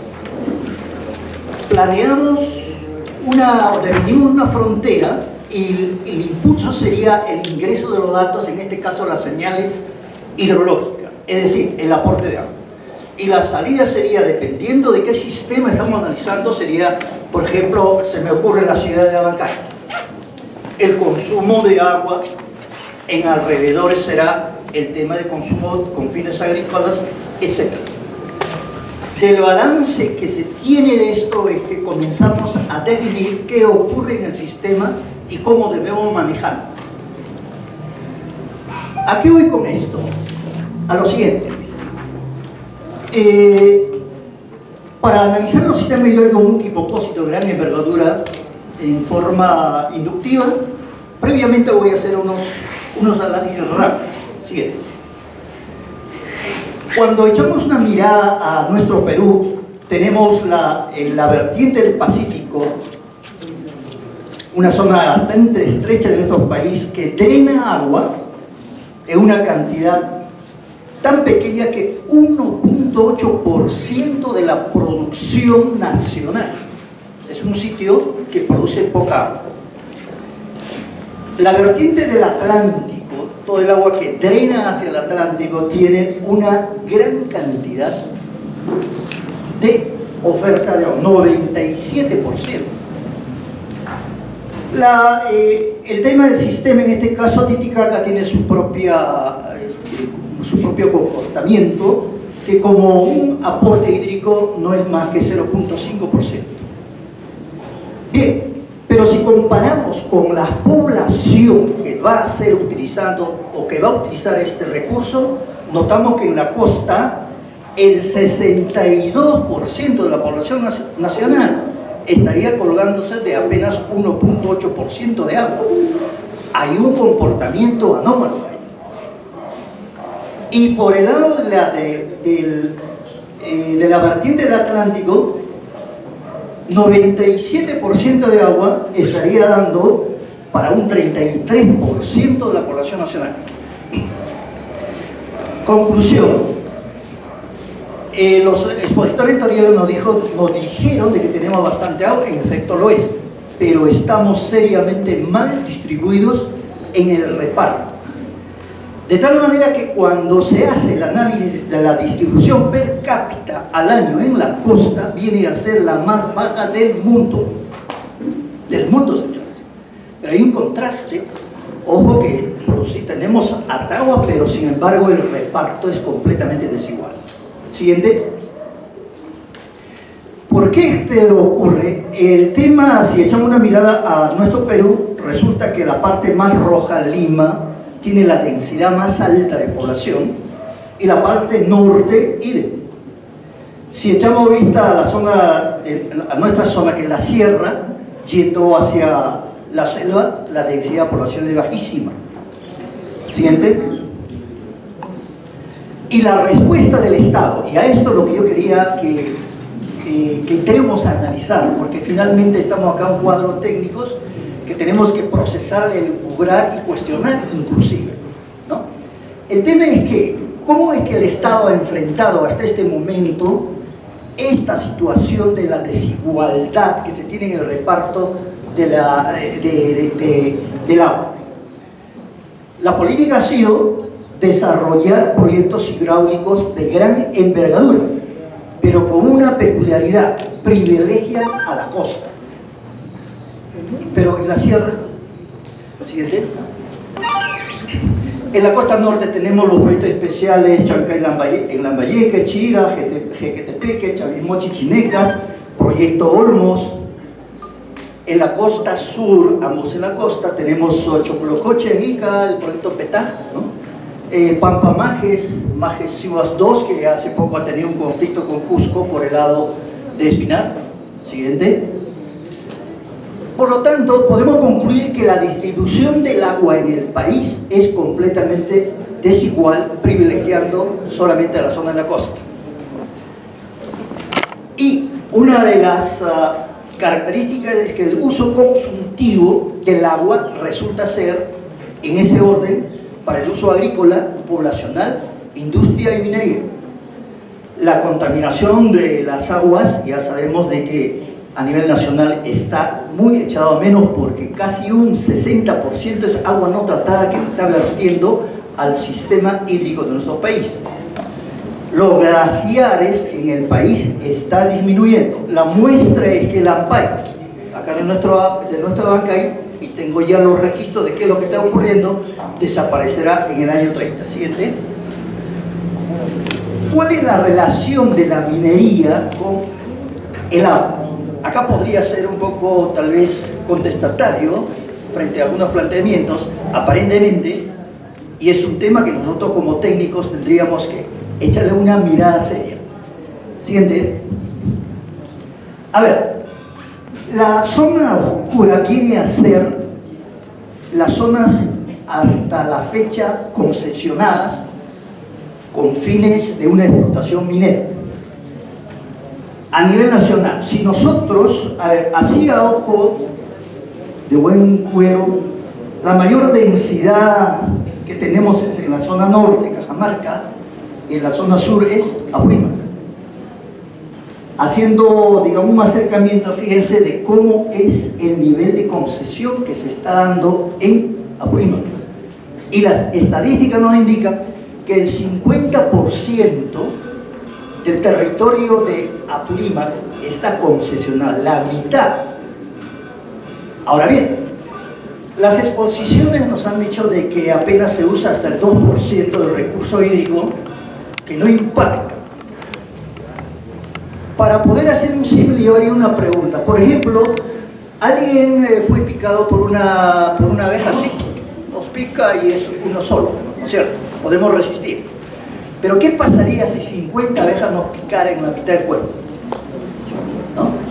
Entonces, el impacto de la minería respecto al uso del agua está en función directa al tamaño, si es a nivel regional y nacional, sí podría tener un impacto. ¿Cierto? Siguiente. Eh, y además, eh, por la razón natural que tiene la minería, tiene sus propias características de presión al momento de implantar este tipo de proyectos. Siguiente. ¿En qué segmentos? Siguiente. En el tema de la tierra, el hecho de que se emplace una minera, de todas maneras es una gran extensión de tierra que de pronto podría invadir sitios que tienen un carácter agrícola marcadamente eh, en actividad. Siguiente. Y lo otro, siguiente, en el tema de los recursos hídricos. Y ocurre que muchas de las minas sí están emplazadas en la cabecera de las cuencas, donde se sufriría, digamos, el impacto. En la cuenca baja. Siguiente. Siguiente. Bien. Y por otro lado, luego de hacer esta mirada, eh, la mirada al, tema este, todo el mundo sabemos lo del tema del cambio climático. Siguiente. Siguiente. A nivel nacional, Apurímac resulta ser, siguiente, el de mayor número de emergencias de orden climática. Somos primero en el tema, digamos, del impacto a nivel climático. Siguiente. Acá tenemos el, el, el, glaciar tutelar de nuestra zona, el Ampay. Siguiente. Siguiente. De acuerdo a los registros que se tienen de las áreas año a año o en este periodo, se ha hecho un modelamiento y con las tendencias se ha encontrado una ecuación tal que, siguiente, en el año 30, siguiente, en el año 30 va a desaparecer el Ampay, es una tendencia que ya el día de ayer un ponente también expuso que en otros sitios vecinos a la nuestra va a tener la misma situación. Siguiente. Si es que no se toman las medidas adecuadas para poder primero ver la respuesta mediante sistemas hidráulicos grandes para sostener el impacto del cambio climático entonces tendremos problemas en el futuro. Siguiente. Tenemos ya una escasez física, es cuando un balance hídrico es tal que la demanda es mayor que la oferta y hay una escasez física que significa que habiendo agua no podemos explotar porque es muy cara. El caso, por ejemplo, bombear el agua del Pachachaca para Bancay, siguiente. Por lo tanto, el planteamiento es, y este es un desafío que se plantea todo el cuadro técnico de nuestra región, que sí se justificaría el hecho de implementar o gestar el análisis de sistemas hidráulicos multipropósitos de gran envergadura en, nuestro, en nuestra región. Quiero precisar un tema. Se habló de la siembra y cosecha de agua y había una pregunta eh, bastante debatible. ¿Infraestructura verde o infraestructura gris? La infraestructura verde viene a ser aquella que por infiltración del agua, la jocha y todo ello podemos tener una reserva, bienvenido. La infraestructura gris viene a ser aquella de grandes reservorios, grandes presas y grandes canales. ¿Cuál, ¿Por dónde apostamos? La, corriente verde o la gris. Y en algún momento entramos en una situación de hacer una, un análisis y lo interesante de la ciencia o el método científico básicamente es eso. Es decir, contraponer una con otra y ver qué es lo mejor. Y es la única posibilidad de que se nos permite equivocar porque eso es el soporte para seguir analizando y en mejores condiciones cualquier situación de análisis. Entonces yo decía lo siguiente, a ver, yo tengo una cuenca y solo por cuestiones académicas digo, no, para poder tener una mejor percepción de estados extremos, digo, de que hay una cuenca que está hecha de losa, cae el agua y todo el agua que cae se va, ¿no es cierto? Por el otro lado tengo un estado extremo también en la que la cuenca ya no es una losa, sino es una canasta. Toda el agua que cae se va, se infiltra, ¿no es cierto? Cuando yo analizo una cuenca cualesquiera, entonces entre esos dos estados extremos estamos encontrando estados intermedios de comportamiento, de comportamiento que dependerá de qué? De la vegetación, dependerá de las fracturas en el suelo, eh, la pendiente, etcétera, etcétera, etcétera. ¿Qué quiero plantear con esto? y este es el fundamento en la que aparentemente la infraestructura verde sería suficiente para resolver nuestro problema del agua. A ver, digo lo siguiente. Si fuera, digamos, una situación intermedia y alguien caracterizar la cuenca con todos sus parámetros y hago el balance y que mejoro con la siembra y cosecha de agua y ocurre que para cierto análisis de hidráulico me sigue faltando agua. ¿Cuál es la salida en ese escenario? Es una pregunta muy válida que para el caso de Abancay, por ejemplo, y para Andahuay, ya definitivamente en una situación muy óptima de siembra y cosecha de agua, en 50 años ya el déficit está dado. ¿Cuál es la respuesta que hay que darle a eso? ¿Siguiente? Por lo tanto, eh, con esta introducción daré inicio al tema de la identificación de sistemas hidráulicos multipropósitos de gran envergadura. Siguiente. Bien, en nuestra zona el proyecto de envergadura no existe, de mediana tampoco, pequeña sí tenemos el caso del proyecto amarillo, siguiente. Está definido que en 50 años tenemos un déficit cítrico, siguiente. Las demandas sectoriales van a ser impactadas en cuanto al consumo poblacional, riego, energía, producción, turismo, vialidad, la recuperación de ecosistemas altoandinos que viene a ser la siembra y cosecha de agua, siguiente a ver, el tema de la regulación, y la mayoría de nosotros somos técnicos, y aun cuando no lo fuéramos, el sentido común de una regulación es el siguiente. En una ciudad como Abancay, el consumo de agua por las horas que pasa son distintas y el famoso lomo de camello se da, es decir, eh, usamos agua a las 8 de la mañana, a las 2 de la tarde, de una manera intensiva. Esa variación es compensada por el reservorio de cabecera la reserva aumenta los volúmenes de reserva, los volúmenes de incendio, etc.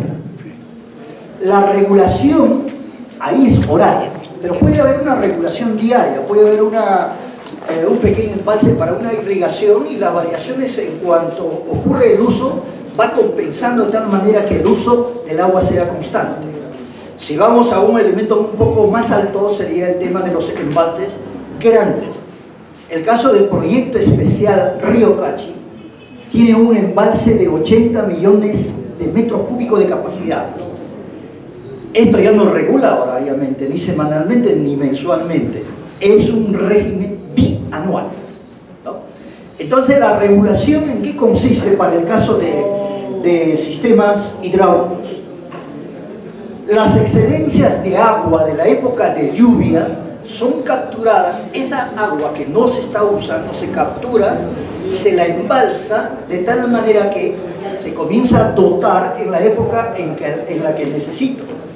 Coincidentemente, en la época en la que el agua no tengo agua, pero ya tengo ya capturada, puedo comenzar a utilizarla. Ese es el concepto central de la regulación, que para el caso eh, de la irrigación es cíclico, pero para el caso, por ejemplo, de la demanda de energía y de agua, es cíclico, pero va incrementándose en razón al crecimiento poblacional. Siguiente. Eh, regulaciones a través de lagunas y conducciones a través de sistemas de conducción. Este es un canal del proyecto Cachi. Tuve la oportunidad de ejecutar esta obra, que es una obra eh, sumamente interesante, a la cual denomino como uno de los proyectos de gran envergadura, claro, relativamente a los otros proyectos de la costa, emplazado que a la fecha tiene unos indicadores muy excelentes. Eh, siguiente. Bien, los sistemas hidráulicos multipropósitos a través del embalse mueve el sector turismo. Si echamos una mirada nada más a la vecindad que tenemos en la zona de Tajata, tendríamos el segundo espejo de agua más grande de Apurímac después de Pacucha. Tendríamos el sector producción por el tema de la piscigranja, definitivamente el hecho de la siembra y cosecha de agua, es decir, el manejo de los ecosistemas aldontinos, tiene que ver el tema ambiental. El consumo sería para todas las poblaciones, consumo de agua potable, para todas las poblaciones aledañas más la ciudad de Abancay, el sector de riego definitivamente, y las centrales de paso, es decir, puede haber una central al pie de la presa, central hidroeléctrica, y en la ruta del canal por ejemplo, en el caso del sistema Tajate hemos encontrado dos caídas que pueden generar energía eléctrica. Siguiente. Eh, estos sistemas definitivamente resolverán el tema del agua, por eso el multipropósito, el tema de la energía, siguiente, el tema de la pesca, la producción, siguiente, la, eh, la irrigación, la parte agrícola, siguiente, el turismo, siguiente. Eh, a ver, el proyecto CACHI, esta es la presa Cuchoquecera, del cual me enorgullece tener al, licenciado Florencio Vargas, que también colaboró en un proyecto CACHI. Tenemos acá la presa Cucho Quesera, 80 millones de metros cúbicos, una altura de 40 metros. Siguiente. Eh, este es Ayacucho, eh, tiene, si ustedes ven, tiene la forma de un perrito, tiene la cola. 15 minutos. No, la oreja, el hocico, tiene la forma. Y aquí nosotros denominamos como la oreja de perro esta parte que al rato voy a comentar por qué te planteo esto. Siguiente.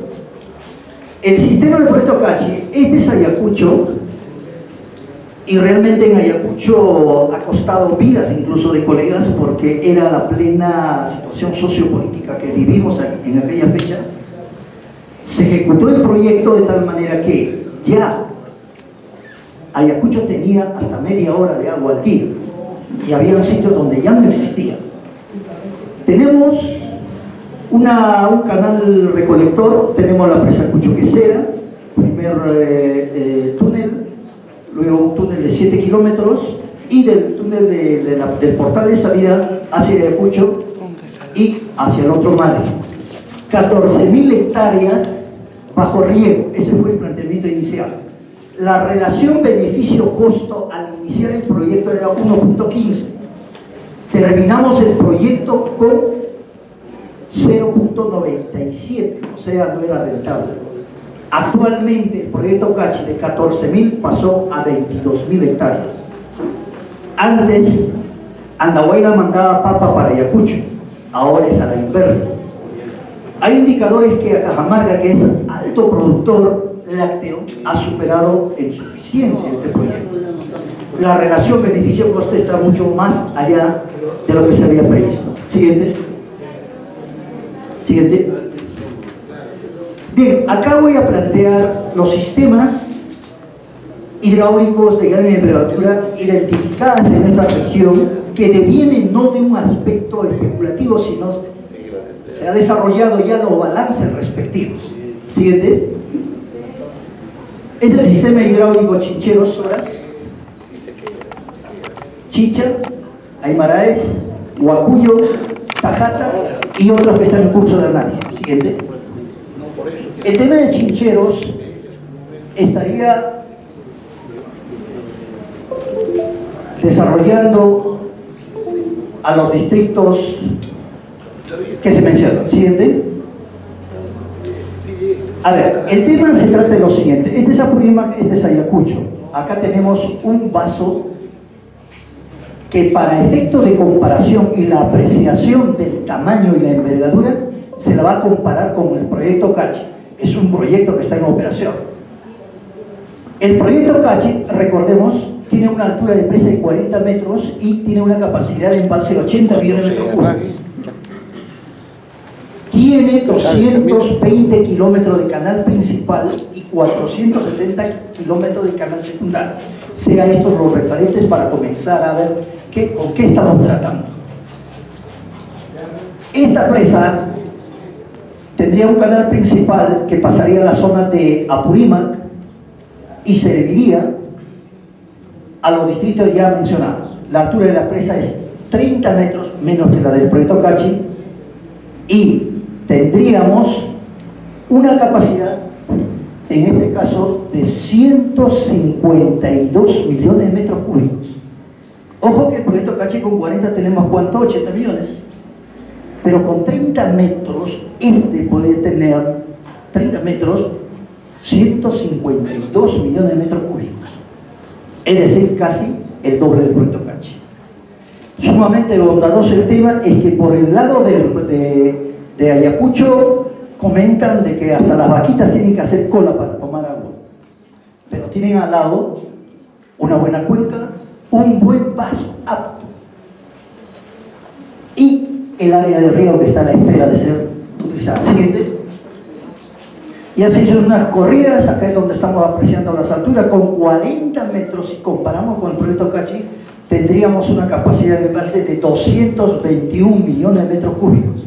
Se hizo el balance a nivel expeditivo, que por ejemplo para una altura, en este caso de 30 metros que plan o menos, eh, estamos hablando en este caso de 27 metros, tendríamos 82 millones de metros cúbicos. Siguiente. Siguiente. Siguiente. Siguiente. Bien, este es el sistema que he planteado, pero este pasaría al lado, al lado de Apurima, regando a ese conjunto de distritos. Siguiente.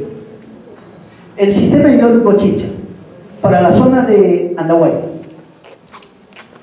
Este beneficiaría a todo este conjunto de distritos. Siguiente.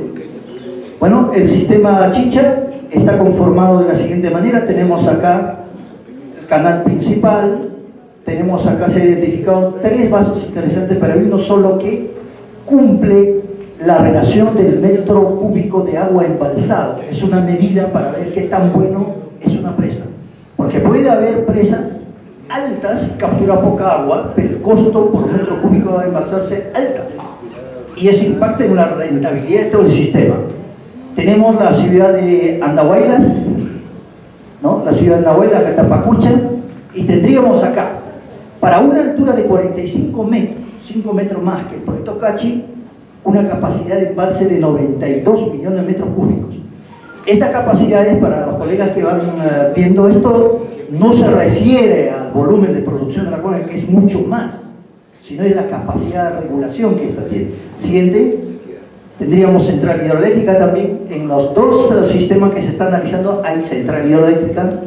En el caso de Maraes es sumamente interesante también, estaría dado para todos estos distritos. Siguiente. Siguiente, siguiente, siguiente.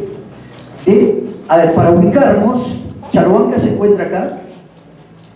El canal amarillo sería el canal interceptor y acá tenemos una, un paso extraordinario con las características siguientes. Siguiente. Ocurre que con 30 metros de altura, o sea, 10 metros que el proyecto Cachi este tendría una capacidad de embalse de 239 millones. Y como producción tendríamos, eh, hablemos del mínimo, 374 millones. De tal manera que para un uso ya de este recurso, planteando a 165 millones, tendríamos una altura de apenas 25 metros el rendimiento y la eficiencia de este sistema es grandioso. Siguiente. Ahí tenemos que el sistema Aymara es tres centrales hidroeléctricas, uno al pie, dos centrales de paso por las caídas generadas, el área de riego 57.000 hectáreas, la, potencia instalada 25 megawatts, siguiente. El sistema Huacuyo, siguiente. Este, la vista del, de, de, Huacuyo es una, es una laguna bastante grande, son 2 kilómetros de longitud, 800 metros de ancho. Siguiente. Uh, esta es una vista eh, a nivel de Google. Ahí tenemos este, la vecindad, está conectada con una pequeña laguna y hacer un, un cierre acá haría que el espejo de agua sería tan grande tal vez aproximándose a, a la laguna de, de Andahuaylas. ¿no? Siguiente. Eh, siguiente. A ver, aquí tendríamos el sistema Huacuyo, por el margen derecho tenemos una central, vamos, soltamos acá y vamos por ambos márgenes, siguiente, y regando de tal manera que acá sí eh, tiene una, para una altura de 30 metros, de 40 metros, son 57 millones de metros cúbicos, sería menos que, menos que eh, Cachi. Pero ojo, en caja marca, en la parte superior, la presa Chonta, tiene 98 metros de altura, ojo, 98 metros de altura y una capacidad de embalse de 44 millones. O sea que sobradamente Huacuyo es un tema tranquilamente va. Siguiente. Siguiente. El sistema Tajata. Abancay ya en 50 años, que es el propósito de hacer el análisis de este tipo de proyectos, proyectos grandes, preguntas grandes, retos grandes, ocurre que definitivamente Abancay es una de las primeras que a esa fecha seguramente va a ser una urbe, va a tener problemas de agua. Y la respuesta que da este tipo de proyectos es precisamente eso, anticiparnos para poder desarrollar las políticas regionales que nos permitan manejar adecuadamente lo que va a ocurrir en un periodo largo de análisis. Siguiente. Esta es la, la laguna Torontojocha, es una vista muy interesante navegar en, esa laguna, es extraordinario. Siguiente. Uh, Abancaya tuvo una emergencia por el agua. Siguiente. En el año 50 necesitamos 540 litros por segundo Siguiente. Eh, la que se ha estimado cómo crecería Abancay sucesivamente, de tal manera que esto sería en el año 50 el límite. ¿Y cómo llegaría el sistema Tajata acá? Ese es el asunto que ya se está planteando. Esto. Nos permite prever. Siguiente. Acá tenemos eh, un resumen, el canal principal de 90 kilómetros, tendríamos una capacidad de embalse de 25 millones de metros cúbicos con una altura de apenas 9 metros de presa. O sea, es una pequeña presa, pero como es favorable el vaso, tenemos 25 millones de metros cúbicos. Además, habría en la generación de 7 megawatts de potencia de energía, a lo largo acá tendríamos una central y otra central y otra más adelante, y el área de río sería 5.000 hectáreas que está listo a ser interactuado con uno de los proyectos que el ingeniero Sergio Mesa seguramente va a explicar el tema de Ancapar. Apenas son 3 kilómetros de túnel y pasaría el agua hacia ese lado, ¿no? A ver, resumiendo, veamos, el proyecto Cachi viene a ser este, 80 millones de metros cúbicos. El proyecto Mariño, que está tratando de llegar a los 4 millones, y el proyecto Tajata, que es interesante, sumado juntos, harían 29 millones de metros cúbicos, no más. Hay restricción por agua para el crecimiento natural de Abancay y llegará a la población de saturación, del cual habrá que comenzar a analizar qué se hace luego. Tenemos Chinchero Sora 82, Chicha 92, Aymaray 165, Huacuyo 72, Siguiente. Bien, para culminar la exposición, quisiera plantear que este trabajo que se ha desarrollado está a nivel de identificación de sistemas hidráulicos de aprovechamiento múltiple. Ya se hizo los balances expeditivos aparentemente el tema va. Digo aparentemente porque se tiene que abundar. Es un, es un sistema complejo que requiere de los estudios previos. En este caso, se tiene que seleccionar. ¿Cómo seleccionaríamos estos sistemas?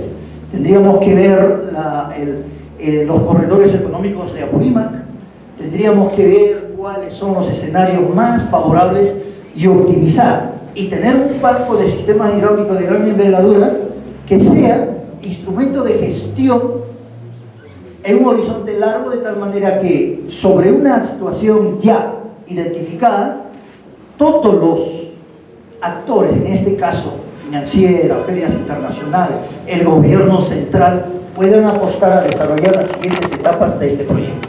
Perfil de expediente y la ejecución. Y de hecho, se puede tapizar.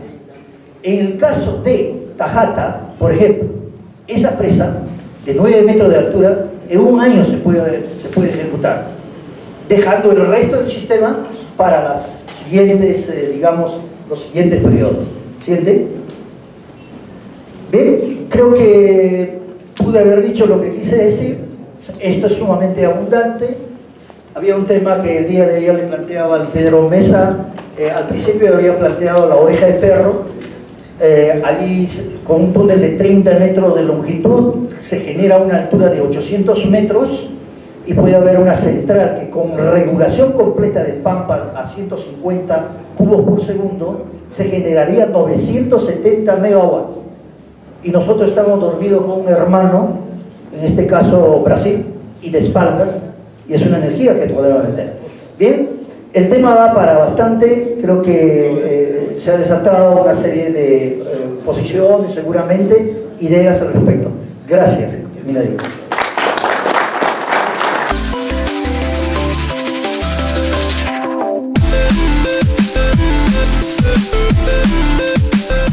El día 5 de abril vamos a inaugurar la represa de Rontococha, que tiene un volumen de, represamiento de 2.400.000 metros cúbicos. Eso es muy importante. Importante porque todos ustedes nos gustaría que estén presentes ahí, para que vean la dimensión, la magnitud y la forma tan eficiente como ha sido ejecutada esta obra. Sigamos.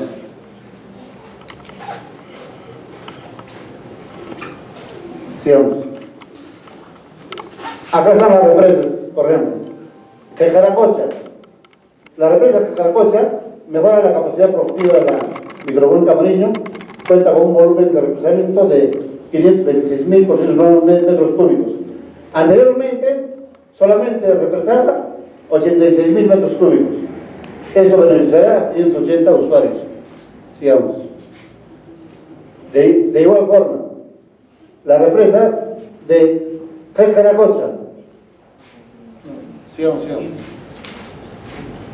La de Alfa de Ojocha. También culminado al 100%, con menor presupuesto, con un volumen de almacenamiento de 480.409 metros cúbicos. Antes solamente almacenaba 32.390 metros cúbicos. Va a ser un beneficio para 460 usuarios.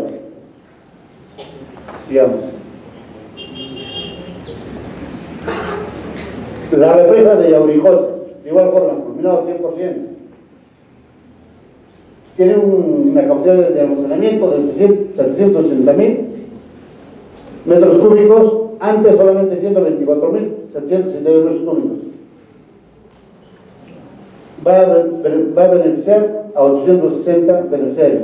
Y por último, el represamiento de Rontojocha, una capacidad de almacenamiento de 2.4 millones de metros cúbicos, que dará satisfacción o satisfacerá la cuestión del consumo humano proyectado por 50 años,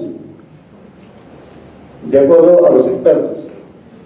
Pero como existe un crecimiento vegetativo rápido, entonces es importante tomar otras alternativas. Ya lo dijo el ingeniero Pimentel, las aguas de Tajata.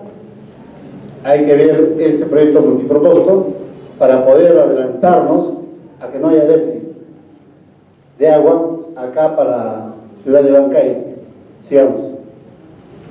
Y bueno, existen muchas pequeñas obras dentro del proyecto de gestión integral de la microcuenca marina. Podemos indicar, por ejemplo, el canal Yanacocha, reservorio de Yanacocha, sigamos, de igual forma el desarrollo en la cuenca media, R3, que ya está culminándose, sigamos. Las obras de arte que están haciendo también en la cuenca media, sigamos, sigamos. Sistema de presión en, la parte baja, cuenca, cuenca baja, en el sector de Pachichaca, como también en el sector de San Gabriel. Este es San Gabriel digamos. También tenemos el mejoramiento de, los canales, de los canales principales. Ahí tenemos tubería de 800 milímetros en los sitios críticos estamos poniendo. Y hasta la fecha tenemos 1800 metros lineales conectados de esta tubería que es inmensa. Sigamos. Y en, en el sitio de Circa tenemos una obra muy bonita que es la ampliación del servicio de agua para el sistema de riego en la comunidad campesina de Huirahuacho, en el distrito de Circa. Este proyecto presenta obras de conducción, obras de almacenamiento y sistema de distribución, el cual la comunidad de Huirahuacho incrementará la producción agropecuaria teniendo por lo menos dos campañas en el año. Tendremos 62, 162, 162 hectáreas, 282 hectáreas y beneficiará a 150 familias. Sigamos. Tenemos otro proyectito en, la, en, en Chacapampa, Acapampa, del distrito de Pichilco, en la provincia de Bancay. Esta es una obra que queda muy cerca de, de acá de Bancay, en Pichilco. El gran problema radica en que nosotros teniendo un presupuesto de casi 7 millones, el gobierno central nos da un millón de soles nuevos y no vamos a poder avanzar realmente en todas estas pequeñas obras. Nos tiene que dar todo el presupuesto para poder terminar en el tiempo viabilizado, proyectado y asumido por el Ministerio de Economía y Finanzas. Lamentablemente, son presupuestos y se va dilatando el tiempo, van subiendo los costos de materiales, los costos de mano de obra, y es un problema que se arrastra durante todos los años. El caso específico es el proyecto Mariño. El proyecto Mariño, cuando lo viabilizamos con 38 millones, hicimos la verificación de viabilidad a 69 millones, lamentablemente están transcurriendo ya 10 años. Cuando esto se debió culminar en 4 años, y esto todavía es excesivo. Sin embargo, el gobierno central no mide estas consecuencias y los gastos generales se van perdiendo en el tiempo. Sigamos. Tenemos después en Coyún Izquierdo, en Curamarca, en Chincheros, una obra muy bonita. Este proyecto representa un, una porción de infraestructura para dotación de riego de 156 hectáreas en el distrito de Curamarca, Coyún Izquierdo, que es la frontera entre Andahuaylas y Chinchero.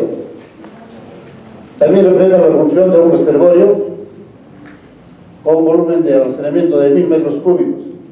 Beneficiará a más de mil familias. Esta es una obra que realmente vale la pena trabajar. Sigamos.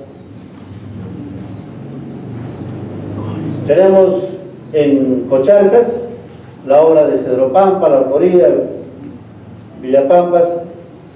De igual forma, costo del proyecto 13 millones, nos da un millón doscientos mil, lo hemos gastado, hemos culminado un 100% de ese gasto, se ha tenido que agilizar, buscar proyectos habilitadores, nos da un, un poquito de plata, 300 mil, le, le, habilitamos otros 300 mil, le habilitamos y es un problema. Lamentablemente así no se pueden manejar los proyectos por administración directa en las regiones. Sigamos. En el sector, en el distrito de la Ambrama también tenemos obras. Esta es la, la obra de la presa de Chaupicoche y Tacaracocha. Como también tenemos la presa de Arumiri. Este es un proyecto de continuidad que cuesta más de 15 millones de nuevos soles y nos van, dando de poquito en poquito en poquito, es un problema. Lamentablemente es un grave problema, del cual siempre lo tengo que decir, porque nosotros, comunidad ejecutora por desarrollo prima, queremos culminar todas nuestras obras, conforme debe ser así, conforme hemos hecho con las empresas, de igual forma también entregar nuestras obras de río tecnificado con responsabilidad, con calidad de obra, de gasto. Sigamos. la empresa de Alumini, se ha capturado la trocha carrozable y próximamente estaremos cumpliendo esta tesis. Seamos. Estos son los grandes megaproyectos que realmente soñamos como proyecto especial regional Yactarwe, Pro Desarrollo Apurímac. Tiene que ejecutar estos grandes proyectos. Por eso que lo convocamos al ingeniero Pimentel, al ingeniero Solórzano, al ingeniero Solón Vázquez, al ingeniero Boríndez, para que como consultores nos abran los ojos y nos digan qué realmente tenemos que hacer para que estos proyectos soñados, ¿no? como todos los proyectos, por ejemplo, en Huancabamba, donde se tanto mineral en Andahuaylas, podamos ejecutar. Este proyecto cuesta aproximadamente 230 millones de soles. De igual forma, el proyecto Soctacocha, 160 millones. El sistema hidráulico Chicha, 242 millones. Mejoramiento de presión del servicio de agua con retrocedimiento en Maimaya, otro proyecto inmenso. Y así, grandes proyectos como el proyecto Tacata, proyectos importantes que tenemos que hacer. Tenemos que destrabar, por ejemplo, eso se lo vamos a pedir a nuestro gobernador, y el proyecto Tacata. Tiene que iniciarse el proyecto Tacata. Como sea, esa va a ser una de las grandes opiniones que vamos a dar, porque obras como esas, que van a dar sostenibilidad a la región, tenemos que decir sí. Y existen otras obras muy importantes, Ancapar en, en Curahuasi, por ejemplo, 156 millones. También estamos en la cuestión del programa Coches, que tenemos que trabajar mucho. La recuperación de nuestros humedales, nuestras coches. Siembra y cosecha de agua, tenemos que hacerlo. Tenemos que tener equipos especializados. A los ingenieros jóvenes tenemos que formarlos para que puedan trabajar con nosotros. De igual forma, vamos a recuperar el programa Arriba Prima 2 en Andahuela Chinchero. Este programa Arriba Prima 2 se gestó con la KfW de Alemania cuando el suscrito estuvo como director ejecutivo en 2010-2011. Pero lamentablemente por situaciones de orden, evidentemente politiquero, patearon el tablero, los alemanes lo llevaron y la plata está durmiendo, ganando los intereses de los alemanes en el Ministerio de Economía y Finanzas. Y nosotros tenemos que destrabar también esto. Ya tenemos los acercamientos con la KfW en, en Lima y con la consultora, con la CES, para poder destrabar esto y podamos retomar esta plata. Son 142 millones que nos aprobaron ese tiempo. Es importante que ustedes conozcan. Yo les he dado una lectura muy somera de estos proyectos que realmente nos hacen tanta falta ejecutarlos. Sigamos. Acá está, acá el problema cuál siempre y cosecha de agua. Al no contar con inventarios a nivel nacional, y esto lo saben los expertos, de la superficie acondicionada para la captura de recursos hídricos, nosotros hemos tomado los, los documentos, hemos analizado como referencia de agrurar lo avanzado por Pronamés durante más de tantos años, con la experiencia del doctor que había indicado, Absalón Vázquez y el ingeniero Anterón Rodríguez, quienes con una amplia experiencia están trabajando muy bien en la ciudad de Cajamarca, y ahora esto mismo queremos replicar en las 84, en los 84 distritos, las 7 provincias de Apurímac, y así cumpliremos con el cierre de la brecha existente. Esta superficie permitirá contar con mayor disponibilidad de agua para su utilización complementaria. Y eso es muy importante para nosotros. Es muy importante este programa de coches, siempre y cosecha de agua. Sigamos. Este es un cuadrito que claramente también indica que solamente la cuestión de oferta y demanda utilizamos el 7.53%. Una ínfima cantidad. Lo poco que hemos ido trabajando a nivel de la región Apurímac, 54.846 hectáreas. Tenemos una brecha existente de 672.765. Comparativamente con con lo que a nivel nacional podemos trabajar, no representa ni siquiera el 3.6%. Es un gran problema. ¿No? Son cuadros que realmente dan mucho que pensar, es en la macro región sur. No hemos trabajado en, en siembra y cosecha de agua. Tenemos que tener equipos que trabajen. Tenemos expertos. Ayer lo, escuchamos al, ingeniero Flavio, Flavio Valer Barazorza, que él ha trabajado muchísimo, ha sido un premio en Estados Unidos por la recuperación justamente de coches, haciendo zanjas de infiltración, haciendo forestación, reforestación, agroforestería, trabajando mucho en lo que es manejo y conservación de suelos, las pérdidas del recurso hídrico por, por escorrentía, lixiviación, por percolados. Él ha trabajado muchísimo, tiene bastante conocimiento, así como estos expertos que les indico, quienes van a trabajar constantemente con nosotros como nuestros consultores. Sigamos. Así quisiéramos tener nuestras cosas, bien resguardadas. Las acciones complementarias que nosotros estamos trabajando en la región Apurímac y el Desarrollo son, formamos parte de la Mesa Técnica Agraria 2019-2022. Somos parte del Comité Regional de Inversiones, coordinamos estrechamente con la Junta de Usuarios de Riego, subsector hidráulico medio Apurímac Pachaca, con las cuadras de Andahuayla, Chinchero y del río Colorado. Somos parte para realizar los, in- los inventarios de recursos hídricos de toda la región Apurímac somos también parte integrante para realizar el inventario de todas las obras ejecutadas a lo largo y ancho de toda la región Purímac y aquellas que cumplieron su vida útil. Y así podamos posibilitar un plan de operación y monitoreo de las mismas mediante un programa OPEMA. Para esto, el Ministerio de Riego, el Ministerio de Agricultura y Riego tiene un presupuesto muy especial y vamos a aceptar el plan de desarrollo agrario concertado al 2025. Los próximos eventos, que nosotros eh, tenemos es consolidar el plan de desarrollo agrario concertado de la región Apurímac 2020-2024 a realizarse en la provincia de Cotabambas el sábado 30 de noviembre de 2019. Ahí estaremos como la, quinta mesa de la mesa de la mesa agraria y sacaremos el documento que lo presentaremos próximamente en Lima al ministro de Agricultura. No, pero ya el día 30 que vamos a inaugurar, vamos a hacerle conocer sobre todo lo avanzado y sobre los proyectos que tenemos en cartera con proyectos definitivos para que posiblemente sean financiados.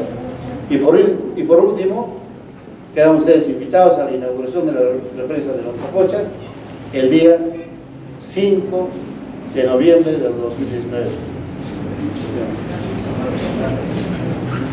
Muchas gracias.